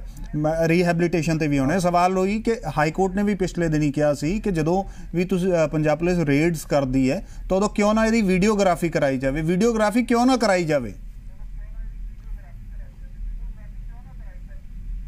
ਨਾਕਿਆਂ ਤੇ ਕਿਉਂ ਨਾ ਕੈਮਰੇ ਲਗਾਏ ਜਾਣ? ਗੱਲ ਹੈ। ਮੈਂ ਇਹਦੇ ਬਾਰੇ ਤੁਹਾਨੂੰ ਇੱਥੇ ਬੈਠ ਕੇ ਨਹੀਂ ਦੱਸ ਸਕਦਾ ਵੀ ਨਹੀਂ ਨੈਕਰਾ ਨਾਕਿਆਂ ਦੇ ਤਾਂ ਬਿਲਕੁਲ ਲੱਗ ਸਕਦੇ ਆ। ਨਾਕਿਆਂ ਦੀ ਤਾਂ ਬਿਲਕੁਲ ਠੀਕ ਆ ਉਹ ਤਾਂ ਸੀਐਮ ਸਾਹਿਬ ਨੇ ਜੋ ਸੁਜੈਸ਼ਨ ਵੀ ਦਿੱਤਾ। ਵੀ ਸਾਡੇ ਜਿਹੜੇ ਇੰਟਰਸਟੇਟ ਨਾਕਿਆਂ ਦੀ ਤਾਂ ਜਿਹਨਾਂ ਨੇ ਗੱਲ ਕਹੀ ਹੋਈ ਹੈ ਵੀ ਉੱਥੇ ਕੈਮਰੇ ਲੱਗਣੇ ਚਾਹੀਦੇ ਉਹ ਤਾਂ ਸੀਐਮ ਸਾਹਿਬ ਨੇ ਸੁਜੈਸ਼ਨ ਦਿੱਤਾ ਹੀ ਹੈ। ਔਰ ਬਿਲਕੁਲ ਨਾਕਿਆਂ ਦੇ ਉੱਤੇ ਜੇ ਕੈਮਰੇ ਲੱਗ ਜਾਣਗੇ ਕੋਈ ਉਹ ਨਹੀਂ। ਪਰ ਜਿਹੜੇ ਹਰ ਐਕਸ਼ਨ ਦੀ ਵੀਡੀਓਗ੍ਰਾਫੀ ਹੁਣ ਆਪਾਂ ਸੋਚ ਕੇ ਵੀ ਆਪਾਂ ਵਿੱਕੀ ਕਾਊਂਟਰ ਨਾਲ ਚੱਲੇ ਤਾਂ ਮੁਕਾਬਲਾ ਕਰਨਾ ਉੱਥੇ ਆਪਾਂ ਕੈਮਰੇ ਲੈ ਕੇ ਜਾਵਾਂਗੇ ਕੈਮਰੇ ਲੈ ਕੇ ਜਾਣ ਦੀ ਕੋਈ ਲੋੜ ਨਹੀਂ ਸਰ ਟੈਕਨੀਕਲੀ ਇੰਨਾ ਕੁ ਸਿਸਟਮ ਇੰਪਰੂਵ ਤਾਂ ਹੋ ਹੀ ਚੁੱਕਾ ਹੈ ਕਿ ਤੁਹਾਨੂੰ ਕੋਈ ਕੈਮਰਾ ਫੜ ਕੇ ਲਿਜਾਣ ਦੀ ਲੋੜ ਨਹੀਂ ਕਿਸੇ ਐਨਕਾਊਂਟਰ ਦੇ ਵਿੱਚ। ਜੇ ਅਮਰੀਕਾ ਉਸਾਮਾ ਬਿਨ ਲਾਦਨ ਦੇ ਐਨਕਾਊਂਟਰ ਦਾ ਲਾਈਵ ਵੀਡੀਓਗ੍ਰਾਫੀ ਕਰ ਸਕਦਾ ਹੈ ਤਾਂ ਕੋਈ ਵੱਡੀ ਗੱਲ ਨਹੀਂ ਹੈ। ਟੈਕਨੀਕਲੀ ਸਿਸਟਮ ਇੰਨਾ ਕੁ ਤਾਂ ਇੰਪਰੂਵ ਹੋ ਹੀ ਚੁੱਕਾ ਹੈ। ਸਵਾਲ ਇਹ ਹੈ ਕਿ ਇਹ ਪੁਲਿਸ ਦੇ ਲਈ ਵੀ ਚੰਗੀ ਗੱਲ ਹੈ। ਇਹ ਪੁਲਿਸ ਦੇ ਲਈ ਵੀ ਚੰਗੀ ਗੱਲ ਹੈ। ਬਹੁਤ ਸਾਰੇ ਲੋਕ ਉਸ ਤੋਂ ਬਾਅਦ ਕ੍ਰਾਈ ਫਾਉਲ ਕ੍ਰਾਈ ਕਰਦੇ ਆ ਕਿ ਸਾਨੂੰ ਧੱਕੇ ਨਾਲ ਫਸਾਤਾ ਤੇ ਤਾਂ ਪੁਲਿਸ ਦੇ ਲਈ ਵੀ ਚੰਗੀ ਗੱਲ ਹੈ ਇੱਕ ਡਾਕੂਮੈਂਟ ਬਣ ਜਾਂਦਾ ਹੈ। ਨਹੀਂ ਮੈਂ ਤਾਂ ਤੁਹਾਨੂੰ ਪਹਿਲਾਂ ਕਿਹਾ ਕਿ ਟੈਕਨੀਕਲ ਗੱਲ ਹੈ ਮੈਂ ਇਹਦੇ ਬਾਰੇ ਬੈਠ ਕੇ ਇੱਥੇ ਤਾਂ ਨਹੀਂ ਤੁਹਾਨੂੰ ਆਪਣੀ ਸੁਜੈਸ਼ਨ ਹੈਗਾ ਠੀਕ ਹੈ ਸੁਜੈਸ਼ਨ ਦਿੱਤਾ ਜਾ ਸਕਦਾ ਬਟ ਮੈਂ ਇਹਦੇ ਬਾਰੇ ਇੱਥੇ ਕੋਈ ਬੈਠ ਕੇ ਇਹਦਾ ਜਵਾਬ ਦੇ ਸਕਾਂ ਮੈਂ ਤਾਂ ਇਸ ਕਪੈਸਿਟੀ 'ਚ ਨਹੀਂ ਵੀ ਕਿਉਂਕਿ ਇੱਕ ਟੈਕਨੀਕਲ ਗੱਲ ਹੈ। ਇਹ ਤਾਂ ਪੁਲਿਸ ਨੇ ਆਪਣੇ ਸਿਸਟਮ ਦੇ ਵਿੱਚ ਦੇਖਣਾ ਹੈਗਾ ਜਾਂ ਉਸ ਡਿਪਾਰਟਮੈਂਟ ਨੇ ਆਪਣੇ ਸਿਸਟਮ ਦੇ ਵਿੱਚ ਦੇਖਣਾ ਮੈਂ ਉਹਦੇ ਵਿੱਚ ਮ, ਨਹੀਂ ਇਹਦੇ ਬੈਠ ਕੇ ਤੁਹਾਨੂੰ ਇਹਦੇ ਚਲੋ ਠੀਕ ਹੈ, ਬੈਂਸ ਸਾਹਿਬ। ਇਦਾਂ ਦੀ ਕੋਈ ਗੱਲ ਕਰ ਸਕਦਾ। ਠੀਕ ਹੈ ਇਹਨਾਂ ਦਾ ਸੁਜੈਸ਼ਨ ਹੈ। ਸੁਜੈਸ਼ਨ ਦੇ ਉੱਤੇ ਆਪਾਂ ਠੀਕ ਹੈ। ਬੈਂਸ ਸਾਹਿਬ ਕੀ ਪੰਜਾਬ ਪੁਲਿਸ ਜਾਂ ਪੰਜਾਬ ਸਰਕਾਰ ਹਾਲੇ ਵੀ ਲੈਕ ਕਰ ਰਹੀ ਹੈ ਇਹਨਾਂ ਸਾਰੀਆਂ ਚੀਜ਼ਾਂ ਨੂੰ ਲੈ ਕੇ? ਜਿਹਦਾ ਕਰਕੇ ਜਿਹੜੀ ਇੱਕ ਕੰਸਟਰਕਟਿਵ ਅਪਰੋਚ ਹੋਣੀ ਚਾਹੀਦੀ ਸੀ ਉਹ ਦਿਖਾਈ ਨਹੀਂ ਦਿੰਦੀ। ਉੱਥੇ ਕਦੇ ਨਾ ਕਦੇ ਆਪਾਂ ਨੂੰ ਲੱਗਦਾ ਹੈ ਇਹ ਗੱਲ ਵੀ ਹਾਲੇ ਅਪਰੋਚ ਨੂੰ ਹੋਰ ਸਾਊਂਡ ਸਟਰੋਂਗ ਕਰਨ ਦੀ ਲੋੜ ਹੈ। ਦੇਖੋ ਟੂ ਬੀ ਵੈਰੀ ਫਰੈਂਕ ਕੰਮ ਤਾਂ ਹੋ ਰਿਹਾ ਹੈ। ਡਰੱਗਸ ਦੇ ਉੱਤੇ ਨਹੀਂ ਕਿ ਨਹੀਂ ਹੋ ਰਿਹਾ ਪਰ ਉਹਦੇ 'ਚ ਜਿਹੜੀ ਦਿਸ਼ਾ ਹੈ ਨਾ ਉਹ ਠੀਕ ਨਹੀਂ ਹੈ ਬਹੁਤ ਜਗ੍ਹਾ ਦੇ ਉੱਤੇ। ਜਿਵੇਂ ਇਹ ਕਿਹਾ ਕਿ 21000 ਬੰਦਾ ਜਿਹੜਾ ਜੇਲ੍ਹਾਂ 'ਚ ਹੈ ਤੇ 37000 ਬੰਦਾ ਤਾਂ ਅਕ- ਅਕਾਲੀ ਦਲ ਵਾਲਿਆਂ ਨੇ ਅੰਦਰ ਕਰਤਾ ਸੀਗਾ। ਤੇ 37000 ਉਹ ਕਿੱਥੇ ਗਿਆ ਜਿਹੜਾ ਫੜਿਆ ਸੀਗਾ? ਮਤਲਬ ਸਵਾਲ ਇਹ ਹੈ ਨਾ ਪੁੱਛੋ 37000 ਸਰਕਾਰ ਬਦਲਦੀ ਹੈ ਉਹ 37000 ਕਿੱਥੇ ਜੇਲ੍ਹਾਂ ਤੋਂ ਬਾਹਰ ਆ ਗਿਆ? ਜਿਹੜਾ 21000 ਹੁਣ ਫੜਿਆ ਹੈ ਕਿ ਇਹ 37000 ਦੇ ਵਿੱਚੋਂ ਹੀ ਹੈ ਕਿ ਨਵੇਂ ਆ ਗਏ ਇਹ? ਫਿਰ ਉਸ ਤੋਂ ਬਾਅਦ ਜਿੱਥੋਂ ਆਪਾਂ ਜਿਹੜੇ ਤੁਹਾਡੀ ਨਸ਼ੇ ਫੜੇ ਜਾਂਦੇ ਆ ਉਹਦੀ ਚੇਨ ਹੁੰਦੀ ਹੈ ਮਤਲਬ A ਨੇ B ਤੋਂ ਲਿਆ B ਨੇ C ਤੋਂ ਲਿਆ C ਨੇ D ਤੋਂ ਲਿਆ E F ਤੱਕ ਚੇਨ ਅੱਗੇ ਜਾਂਦੀ ਹੈ ਬਿਲਕੁਲ। ਉਹ ਚੇਨ ਦੇ ਉੱਤੇ ਇਨਵੈਸਟੀਗੇਸ਼ਨ ਕਿਉਂ ਨਹੀਂ ਹੁੰਦੀ? ਹਾਈ ਕੋਰਟ ਨੇ ਵੀ ਇਹ ਸਵਾਲ ਉਠਾਇਆ ਸੀਗਾ ਕਿ ਤੁਸੀਂ ਜੇ ਇੱਕ ਬੰਦਾ ਫੜਿਆ ਗਿਆ ਉਹਦਾ ਚਲਾਨ ਪੇਸ਼ ਹੋ ਗਿਆ ਜੀ ਤਾਂ ਨਸ਼ਾ ਫੜਿਆ ਗਿਆ ਦਰਜ ਗੱਲ ਖਤਮ ਹੋ ਗਈ। ਪਰ ਉਹਦੀ ਚੇਨ ਦੀ ਇਨਵੈਸਟੀਗੇਸ਼ਨ ਕਿਉਂ ਨਹੀਂ ਹੁੰਦੀ? ਇੰਦਰਜੀਤ ਸਿੰਘ ਪੰਜਾਬ ਪੁਲਿਸ ਦਾ ਇੰਸਪੈਕਟਰ ਹੀ ਫੜਿਆ ਗਿਆ ਸੀਗਾ।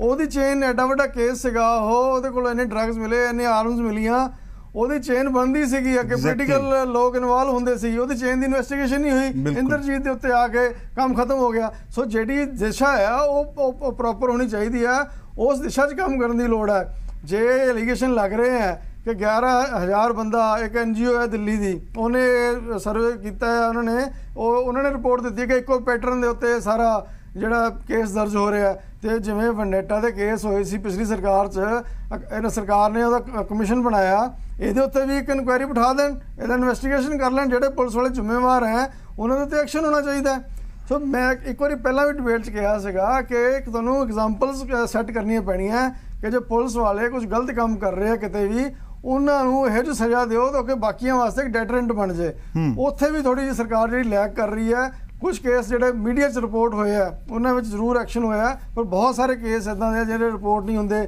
ਡਿਪਾਰਟਮੈਂਟਲ ਇਨਕੁਆਇਰੀਆਂ ਦੇ ਵਿੱਚ ਹੀ ਹੋ ਜਾਂਦੇ ਆ ਬਠਿੰਡੇ ਉਹਨੇ ਇੱਕ ਡੀਐਸਪੀ ਸੀਗਾ ਜਿਹਦੇ ਤੇ ਨਸ਼ੇ ਦੇ ਐਲੀਗੇਸ਼ਨ ਲਗਾਈ ਟ੍ਰਾਂਸਫਰ ਹੋਈ ਸਰਕਾਰ ਬਦਲਣੇ ਦੁਆਰਾ ਫਿਰ ਉੱਥੇ ਆ ਗਿਆ। ਹੀ ਗਿਆ। ਇਦਾਂ ਦੀਆਂ ਗੱਲਾਂ ਜਿਹੜੀਆਂ ਉਹਨਾਂ ਦੇ ਉੱਤੇ ਸਰਕਾਰ ਨੂੰ ਬੜਾ ਠੋਸ ਨੀਤੀ ਬਣਾਉਣੀ ਚਾਹੀਦੀ ਹੈ ਕੋਈ ਡਰੱਗ ਪਾਲਿਸੀ ਬਣਨੀ ਚਾਹੀਦੀ ਹੈ ਸੋ ਇਦਾਂ ਦੀ ਕੋਈ ਪਾਲਿਸੀ ਨਹੀਂ ਹੈ ਫਿਕਸ ਜਦੋਂ ਵੀ ਨੀਜਰਕ ਐਕਸ਼ਨ ਵੀ ਅੱਜ ਹੋ ਗਿਆ ਅੱਜ ਰਾਤ ਨੂੰ ਸੋਚੋ ਤੇ ਖਿਆਲ ਆਇਆ ਵੀ ਕੱਲ ਨੂੰ ਸਿਰਿੰਜ ਬੰਦ ਕਰ ਦਿਓ ਸਿਰਿੰਜ ਬੰਦ ਕਰ ਦਿਓ ਕਮਿਸਟਾਂ ਦੇ ਰੇਡ ਕਰ ਦਿਓ। ਡੋਪ ਟੈਸਟ ਕਰ ਲਓ ਇਦਾਂ ਨਹੀਂ ਕੰਮ ਚੱਲਦਾ ਹੁੰਦਾ, ਇਹ 'ਚ ਕੋਈ ਬਕਾਇਦਾ ਸਸਟੇਨਡ ਐਫਰਟਸ ਦੀ ਲੋੜ ਹੈ। ਤਾਂ ਇਹ ਨਸ਼ਿਆਂ ਦੇ ਉੱਤੇ ਥੋੜਾ ਕੰਮ ਜਿਹੜਾ ਤੁਸੀਂ ਕਰ ਸਕਦੇ ਪੁਲਿਸ ਨੂੰ ਜਵਾਬਦੇਹ ਬਣਾਇਆ ਜਾਵੇ। ਇੱਕ ਗੱਲ ਚੱਲੀ ਸੀਗੀ ਕਿ ਪਿੱਛੇ ਜੇ ਕਿ ਐਸਐਚਓ ਜਿਹੜਾ ਜ਼ਿੰਮੇਵਾਰ ਹੋਏਗਾ, ਜਿਸ ਐਸਐਚਓ ਦੇ ਏਰੀਆ ਦੇ ਵਿੱਚ ਨਸ਼ਾ ਫੜਿਆ ਗਿਆ, ਉਹਨੂੰ ਉਹਨੂੰ ਸਸਪੈਂਡ ਕੀਤਾ ਜਾਊਗਾ ਉਹਦੀ ਟਰਮੀਨੇਸ਼ਨ ਕੀਤੀ ਜਾਊਗੀ। ਪਰ ਉਹਦੇ ਉੱਤੇ ਵੀ ਹਲੇ ਤੱਕ ਕੋਈ ਕਾਰਵਾਈ ਨਹੀਂ ਹੋਈ। ਸੋ ਸਟੇਟਮੈਂਟਾਂ ਤੱਕ ਅਸੀਂ ਸੀਮਤ ਰਹਿ ਜਾਂਦੇ ਆ ਜਿਹੜੀ ਉਹਦੇ ਠੋਸ ਕਾਰਵਾਈ ਦੀ ਕਮੀ ਕਿਤੇ ਨਾ ਕਿਤੇ ਨਜ਼ਰ ਆਉਂਦੀ ਹੈ। ਠੀਕ ਹੈ। ਸੁਖਦੇਵ ਸਿੰਘ ਜੀ, ਬ- ਹੁਣ ਇਹ ਸਵਾਲ ਹੈ ਤੁਹਾਡੇ ਤੋਂ, ਤੁਸੀਂ ਰੀਹੈਬਿਲਿਟੇਸ਼ਨ ਦੀ ਗੱਲ ਵੀ ਕਰ ਰਹੇ ਸੀ।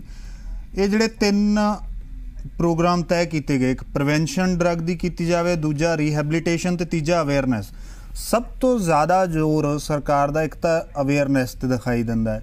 ਅਵੇਅਰਨੈਸ ਵੀ ਸਟੇਟਮੈਂਟਸ ਹੈ ਜਿਹੜੀਆਂ। ਦੂਜਾ ਰੀਹੈਬਿਲਿਟੇਸ਼ਨ ਨੂੰ ਲੈ ਕੇ ਜਿਸ ਤਰ੍ਹਾਂ ਦਾ ਪ੍ਰਬੰਧ ਹੋਣਾ ਚਾਹੀਦਾ ਸੀ, ਉਹ ਨਹੀਂ ਹੈਗਾ ਪ੍ਰੋਪਰਲੀ ਤੀਜਾ ਪ੍ਰੀਵੈਂਸ਼ਨ ਨੂੰ ਲੈ ਕੇ ਕੰਮ ਹੋ ਰਿਹਾ ਪਰ ਉਹਦੇ 'ਚ ਵੀ ਕਈ ਸਾਰੇ ਲੂਪ ਹੋਲਸ ਹੈਗੇ ਆ, ਕਈ ਕਈ ਸਾਰੇ ਉਹਦੇ 'ਚ ਸਮੱਸਿਆਵਾਂ ਹੱਲੇ ਵੀ ਹੈਗੀਆਂ ਨੇ। ਹੁਣ ਤੁਸੀਂ ਇਹਦੇ ਤੇ ਆਪਣਾ ਜਵਾਬ ਦੇ ਸਕਦੇ ਹੋ। ਸਰ, ਦੇਖੋ, ਉਹਨਾਂ ਵਾਸਤੇ ਨਾ 5 ਲੱਖ ਦੇ ਕਰੀਬ ਤਾਂ ਜਿਹੜੇ ਇਹ ਓਪੀਡੀ ਦੇ ਵਿੱਚ ਜਿਹੜੇ ਆ ਚੁੱਕੇ ਨੇ, ਜਿਹੜੇ ਸਾਡੇ ਨਸ਼ਾ ਛਡਾਊ ਕੇਂਦਰਾਂ ਦੇ ਵਿੱਚ, ਜਿਹੜੇ ਓਟ ਅਸੀਂ ਕਲੀਨਿਕ ਖੋਲੇ ਨੇ ਉਹ ਆਲਰੇਡੀ ਇਸੇ ਪਰਪਸ ਲਈ ਖੋਲੇ ਗਏ ਨੇ ਔਰ ਉੱਥੇ ਜਿਹੜੇ ਹੈਗੇ ਆ ਬਕਾਇਦਾ ਤੌਰ ਤੇ ਇਲਾਜ ਚੱਲ ਵੀ ਰਿਹਾ ਔਰ। ਬਾਕੀ ਸਰਕਾਰ ਦੇ ਕੋਲ ਕੋਈ ਇਸ ਤਰ੍ਹਾਂ ਦਾ ਡਾਟਾ ਹੈ, ਸੁਦੇ ਜੀ? ਹੋਰ ਵੀ ਇੰਪਰੂਵਮੈਂਟ ਦੀ ਲੋੜ ਹੈ। ਤੁਸੀਂ 5 ਲੱਖ ਕਹਿ ਰਹੇ ਹੋ ਸਰਕਾਰ ਦੇ ਕੋਲ ਕੋਈ ਇਸ ਤਰ੍ਹਾਂ ਦਾ ਡਾਟਾ ਹੈ? ਕੋਈ ਸਟੱਡੀ ਕਰਵਾਈ ਹੈ ਕਿ ਕਿੰਨੇ ਕੁ ਲੱਖ ਟੋਟਲ ਜਿਹੜੇ ਹੈਗੇ ਆ ਲੋਕ ਨਸ਼ਾ ਲੈਂਦੇ ਹੋਣਗੇ ਪੰਜਾਬ 'ਚ? ਨਹੀਂ ਦੇਖੋ ਇਸ ਸਟੇਜ ਦੇ ਉੱਤੇ ਮੈਨੂੰ ਤਾਂ ਇਹਦੇ ਬਾਰੇ ਨਹੀਂ ਮੈਂ ਕਹਿ ਸਕਦਾ ਵੀ ਕੋਈ ਕਿੰਨੇ ਕ ਬੰਦੇ ਲੈਂਦੇ ਆ।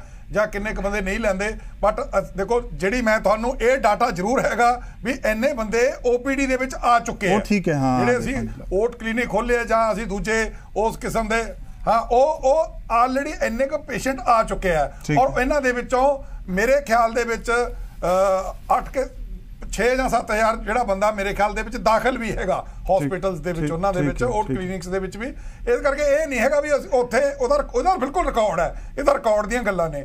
ਬਾਕੀ ਦੂਜੀ ਗੱਲ ਇਹ ਵੀ ਕਿੰਨੇ ਕਿੰਨੇ ਸਾਡੇ? ਔਰ ਦੇਖੋ, ਆਪਾਂ ਨੂੰ ਦੇਖਣਾ ਚਾਹੀਦਾ ਜੇ 5 ਲੱਖ ਬੰਦਾ ਵੀ ਕੋਈ OPD ਚ ਆ ਕੇ ਗਿਆ, ਇਹ ਵੀ ਇੱਕ ਬਹੁਤ ਵੱਡਾ ਅੰਕੜਾ ਹੈ, ਇਹ ਕੋਈ ਛੋਟਾ ਅੰਕੜਾ ਨਹੀਂ ਹੈਗਾ। ਇਹਦੇ ਵਾਸਤੇ ਸਰਕਾਰ ਨੇ ਜਿਵੇਂ ਤੁਸੀਂ ਕਿਹਾ ਅਵੇਅਰਨੈਸ ਦੇ ਵਿੱਚ, ਜਿਹਦੇ ਵਿੱਚ ਕਿ ਮੀਡੀਆ ਦਾ ਵੀ ਰੋਲ ਹੈ ਅਵੇਅਰਨੈਸ ਹੋਈ ਹੈ, ਤਾਂ ਇੰਨੇ ਜਿਹੜੇ ਹੈਗੇ ਪੇਸ਼ੈਂਟ OPD ਚ ਆਏ ਆ, ਜਾਂ ਇੰਨੇ ਦਾਖਲ ਹੋਏ ਆ, ਜਾਂ ਜਿਨ੍ਹਾਂ ਦੇ ਕੀ ਆਪਾਂ, ਜਿਨ੍ਹਾਂ ਨੂੰ ਕੀ ਆਪਾਂ, ਜਿਨ੍ਹਾਂ ਦਾ ਕੀ ਇਲਾਜ ਕਰ ਰਹੇ ਆ। ਇਸ ਕਰਕੇ ਅਵੇਅਰਨੈਸ ਤਾਂ ਹੋ ਗਈ ਸਰ ਔਰ ਅਵੇਅਰਨੈਸ ਦੇ। ਵਿੱਚ ਬਹੁਤ ਸਾਰੀਆਂ ਹੋਰ ਏਜੰਸੀਆਂ ਦਾ ਇੰਸਟੀਟਿਊਸ਼ਨਸ ਦਾ ਹੱਥ ਹੈ। ਅਵੇਅਰਨੈਸ ਦੇ ਲਈ ਸਿਰਫ ਸਰਕਾਰ ਨੂੰ ਨਹੀਂ ਬਾਕੀ ਹੋਰ ਬਹੁਤ ਬਿਲਕੁਲ ਐਨਜੀਓਜ਼ ਨੂੰ ਵੀ ਸੇਰਾ ਜਾਂਦਾ ਹੈ। ਹੋਰ ਬਹੁਤ ਸਾਰੇ ਨਾ, ਨਾ, ਇੰਸਟੀਟਿਊਸ਼ਨਸ ਬਿਲਕੁਲ ਬੰਦੇ ਆ। ਮੈਂ ਸੇਰਾ ਜਾਂਦਾ ਹੈ। ਪਰ ਸਰਕਾਰ ਨੇ ਜੋ ਪ੍ਰਬੰਧ ਕਰਨਾ ਰੀਹੈਬਿਲਿਟੇਸ਼ਨ ਦੇ ਵਧੀਆ ਪ੍ਰਬੰਧ। ਅਸੀਂ ਇਸ ਗੱਲ ਨਾਲ ਸਹਿਮਤ ਹਾਂ। ਹਾਂ ਉਹ ਹੋਏ ਕਿ ਨਹੀਂ? ਨੀਲ ਗਰਗ ਸਾਹਿਬ ਰੀਹੈਬਿਲਿਟੇਸ਼ਨ ਦੇ ਪ੍ਰਬੰਧ ਸਰਕਾਰ ਨੇ ਕਰਨੇ। ਉਹ ਕਿੰਨੇ ਵਧੀਆ ਨੇ? ਔਰ ਕੀ ਇਸ ਤਰ੍ਹਾਂ ਦਾ ਕੋਈ ਸਟੱਡੀ ਹੋਣੀ ਚਾਹੀਦੀ ਹੈ? ਸਭ ਤੋਂ ਪਹਿਲਾਂ ਇਹ ਨਿਸ਼ਾਨਦੇਹੀ ਕਰਨ ਦੇ ਲਈ ਕਿ ਕੁੱਲ ਮਿਲਾ ਕੇ ਇੰਨੇ ਲੋਕ ਨਸ਼ਾ ਕਰਦੇ ਆ ਪੰਜਾਬ 'ਚ। ਹਾਂ ਬਿਲਕੁਲ ਮੈਂ ਸਰ ਗੁਰਪ੍ਰੀਤ ਜੀ ਉਸੇ ਗੱਲ ਤੇ ਆ ਰਿਹਾ। ਸੀ। ਜਦੋਂ ਜਦੋਂ ਤੱਕ ਆਪਾਂ ਅਵੇਅਰਨੈਸ ਦੀ ਗੱਲ ਕਰਦੇ ਹਾਂ ਜੇਕਰ ਸਾਡੇ ਕੋਲ ਡਾਟਾ ਹੀ ਹੈ ਨਹੀਂ ਠੀਕ ਹੈ ਨਾ? ਤੇ ਉਦੋਂ ਤੱਕ ਅਸੀਂ ਆਪਣੀ ਜਿਹੜੀ ਅਵੇਅਰਨੈਸ ਵੀ ਉਸ ਲੈਵਲ ਤੱਕ ਨਹੀਂ ਪਹੁੰਚਾ ਸਕਦੇ ਜਿਸ ਲੈਵਲ ਤੱਕ ਉਹ ਪਹੁੰਚਣੀ ਚਾਹੀਦੀ ਹੈਗੀ ਹੈ। ਸਰਕਾਰ ਨੇ ਸਿਰਫ ਇੱਕ ਪਿਛਲੇ ਕੁਝ ਦਿਨਾਂ ਦੇ ਵਿੱਚ ਫੇਸਬੁੱਕ ਦੇ ਇੱਕ ਚਿੱਠੀ ਛਾਪੀ ਹੈ ਉਹ ਉਸੇ ਨੂੰ ਅਵੇਅਰਨੈਸ ਦੱਸ ਰਹੀ ਹੈ। ਜਦ ਕਿ ਸਰਕਾਰ ਦਾ ਐਨਜੀਓ ਦੇ ਨਾਲ ਮਿਲ ਕੇ ਚਾਹੀਦਾ ਸੀ ਪਿੰਡ-ਪਿੰਡ ਸ਼ਹਿਰ-ਸ਼ਹਿਰ ਕੋਈ ਸੈਮੀਨਾਰ ਕਰਵਾ ਕੇ ਜੇ ਇਦਾਂ ਦਾ ਡਾਟਾ ਇਕੱਠਾ ਹੁੰਦਾ ਉਹਨਾਂ ਨੂੰ ਲਿਆ। ਕੇ ਜਾਂ ਉਹਨਾਂ ਦੇ ਪੇਰੈਂਟਸ ਨੂੰ ਲਿਆ ਕੇ ਉਹਨਾਂ ਦੇ ਫੈਮਿਲੀ ਮੈਂਬਰ ਨੂੰ ਲਿਆ ਕੇ ਉੱਥੇ ਅਵੇਅਰ ਕੀਤਾ ਜਾਂਦਾ ਕਿਉਂਕਿ ਫੈਮਿਲੀ ਦਾ ਬਹੁਤ ਵੱਡਾ ਰੋਲ ਹੁੰਦਾ ਕਈ ਵਾਰੀ ਕੀ ਹੁੰਦਾ ਨਸ਼ਾ ਛੱਡ ਵੀ ਜਾਂਦਾ ਜਾ ਕੇ ਫਿਰ ਜਦੋਂ ਵਾਪਸ ਜਾਂਦਾ ਉਹ ਫਿਰ ਜਾਨੀ ਕਿ ਨਸ਼ੇ ਤੇ ਵਾਪਸ ਲੱਗ ਜਾਂਦਾ ਕਿਉਂਕਿ ਫੈਮਿਲੀ ਉਸ ਤਰੀਕੇ ਦਾ ਸਹਿਯੋਗ ਫੈਮਿਲੀ 'ਚ ਨਹੀਂ ਮਿਲਦਾ ਹੈਗਾ। ਔਰ ਜਿੱਥੋਂ ਤੱਕ ਤੁਸੀਂ ਰੀਹੈਬਿਲਿਟੇਸ਼ਨ ਦੇ ਸੈਂਟਰਾਂ ਦੀ ਗੱਲ ਕੀਤੀ ਹੈ ਸਰ ਮੈਂ ਬਠਿੰਡਾ ਦਾ ਰਹਿਣ ਵਾਲਾ ਤੇ ਮੈਂ ਇਸ ਦੇ ਉੱਤੇ ਅਸੀਂ ਕਿਉਂਕਿ ਸਾਨੂੰ ਵੋਟਾਂ ਤੋਂ ਬਾਅਦ ਇੱਕਦਮ ਬਾਅਦ ਅਸੀਂ ਕੁਝ ਸਰਵੇ ਕੀਤਾ ਸੀ ਕਿਉਂਕਿ ਸਰਕਾਰ ਕੋਲ ਇਹਦਾ ਦਾ ਡਾਟਾ ਹੈ ਨਹੀਂ ਕਿ। ਕਿੰਨੇ ਲੋਕ ਜਿਹੜੇ ਕਿ ਨਸ਼ੇ ਕਰਦੇ ਆ ਤੇ ਉਹ ਸਰਵੇ ਦੇ ਵਿੱਚ ਇੱਕ ਜਿਹੜਾ ਰੀਹੈਬਿਲਿਟੇਸ਼ਨ ਕਿੰਨੇ ਸੈਂਟਰ ਨੇ ਉਹਦਾ ਬਾਰੇ ਵੀ ਜਾਣਿਆ ਸੀ। ਤਲਵੰਡੀ ਸਾਬੋ ਦੇ ਵਿੱਚ ਬਹੁਤ ਸੋਹਣੀ ਬਿਲਡਿੰਗ ਬਣੀ ਹੋਈ ਹੈ। ਰੀਹੈਬਿਲਿਟੇਸ਼ਨ ਵਾਸਤੇ। ਪਰ ਉੱਥੇ ਕੋਈ ਨਾ ਡਾਕਟਰ ਹੈਗਾ ਤੇ ਨਾ ਕੋਈ ਹੋਰ ਉੱਥੇ ਮੁਲਾਜ਼ਮ ਹੈਗਾ। ਠੀਕ ਹੈ, ਇਹ ਸਮੱਸਿਆਵਾਂ ਹੈਗੀਆਂ ਜ਼ਿਲ੍ਹੇ। ਦੇ ਵਿੱਚ ਨਸ਼ਾ। ਛਡਾਊ ਕੇਂਦਰ ਸਿਰਫ ਇੱਕ ਬਠਿੰਡੇ ਦੇ ਵਿੱਚ ਹੈਗਾ। ਇੱਥੇ ਸਰਕਾਰ ਤੁਸੀਂ ਨੂੰ ਕੰਮ? ਕਰਨ ਦੀ ਲੋੜ ਹੈ। ਜੀ ਬਹੁਤ ਸ਼ੁਕਰੀਆ ਖੈਰ ਸਭ ਦਾ। ਅੱਜ ਦੀ ਵਿਚਾਰ ਚਰਚਾ ਦੇ ਵਿੱਚ ਜੁੜਨ ਦੇ ਲਈ ਹੁਣ ਵਕਤ ਇਜਾਜ਼ਤ ਨਹੀਂ ਦੇ ਰਿਹਾ ਸਰ। ਮਾਫੀ ਚਾਹਾਂਗੇ। ਅੱਜ ਦਾ ਸਵਾਲ ਜੋ ਦਰਸ਼ਕਾਂ ਤੋਂ ਸੀ ਉਸ ਦੇ ਜਵਾਬ ਦਾ ਟਾਈਮ ਹੈ। ਸਵਾਲ ਅੱਜ ਅਸੀਂ ਪੁੱਛਿਆ ਸੀ ਕਿ ਸੱਤ ਸੂਬਿਆਂ ਦੇ ਵੱਲੋਂ ਨਸ਼ੇ ਤੇ ਸਾਂਝੀ ਨੀਤੀ ਬਣਾਉਣਾ ਸਹੀ ਫੈਸਲਾ ਹੈ। ਜਵਾਬ ਜੋ ਦਰਸ਼ਕਾਂ ਦੀ رائے ਸਾਨੂੰ ਐਸਐਮਐਸ ਦੇ ਰਾਹੀਂ ਸ- ਮਿਲੀ ਹੈ ਉਸ ਦੇ ਮੁਤਾਬਕ 93% ਦੇ ਲੋਕਾਂ ਨੇ ਹਾਂ ਦੇ ਵਿੱਚ ਜਵਾਬ ਦਿੱਤਾ ਹੈ ਇਸ ਨੂੰ ਸਹੀ ਕਦਮ ਕਰਾਰ ਦਿੱਤਾ ਹੈ 7% ਲੋਕਾਂ ਦਾ ਜਵਾਬ ਨਾ ਦੇ ਵਿੱਚ ਹੈ।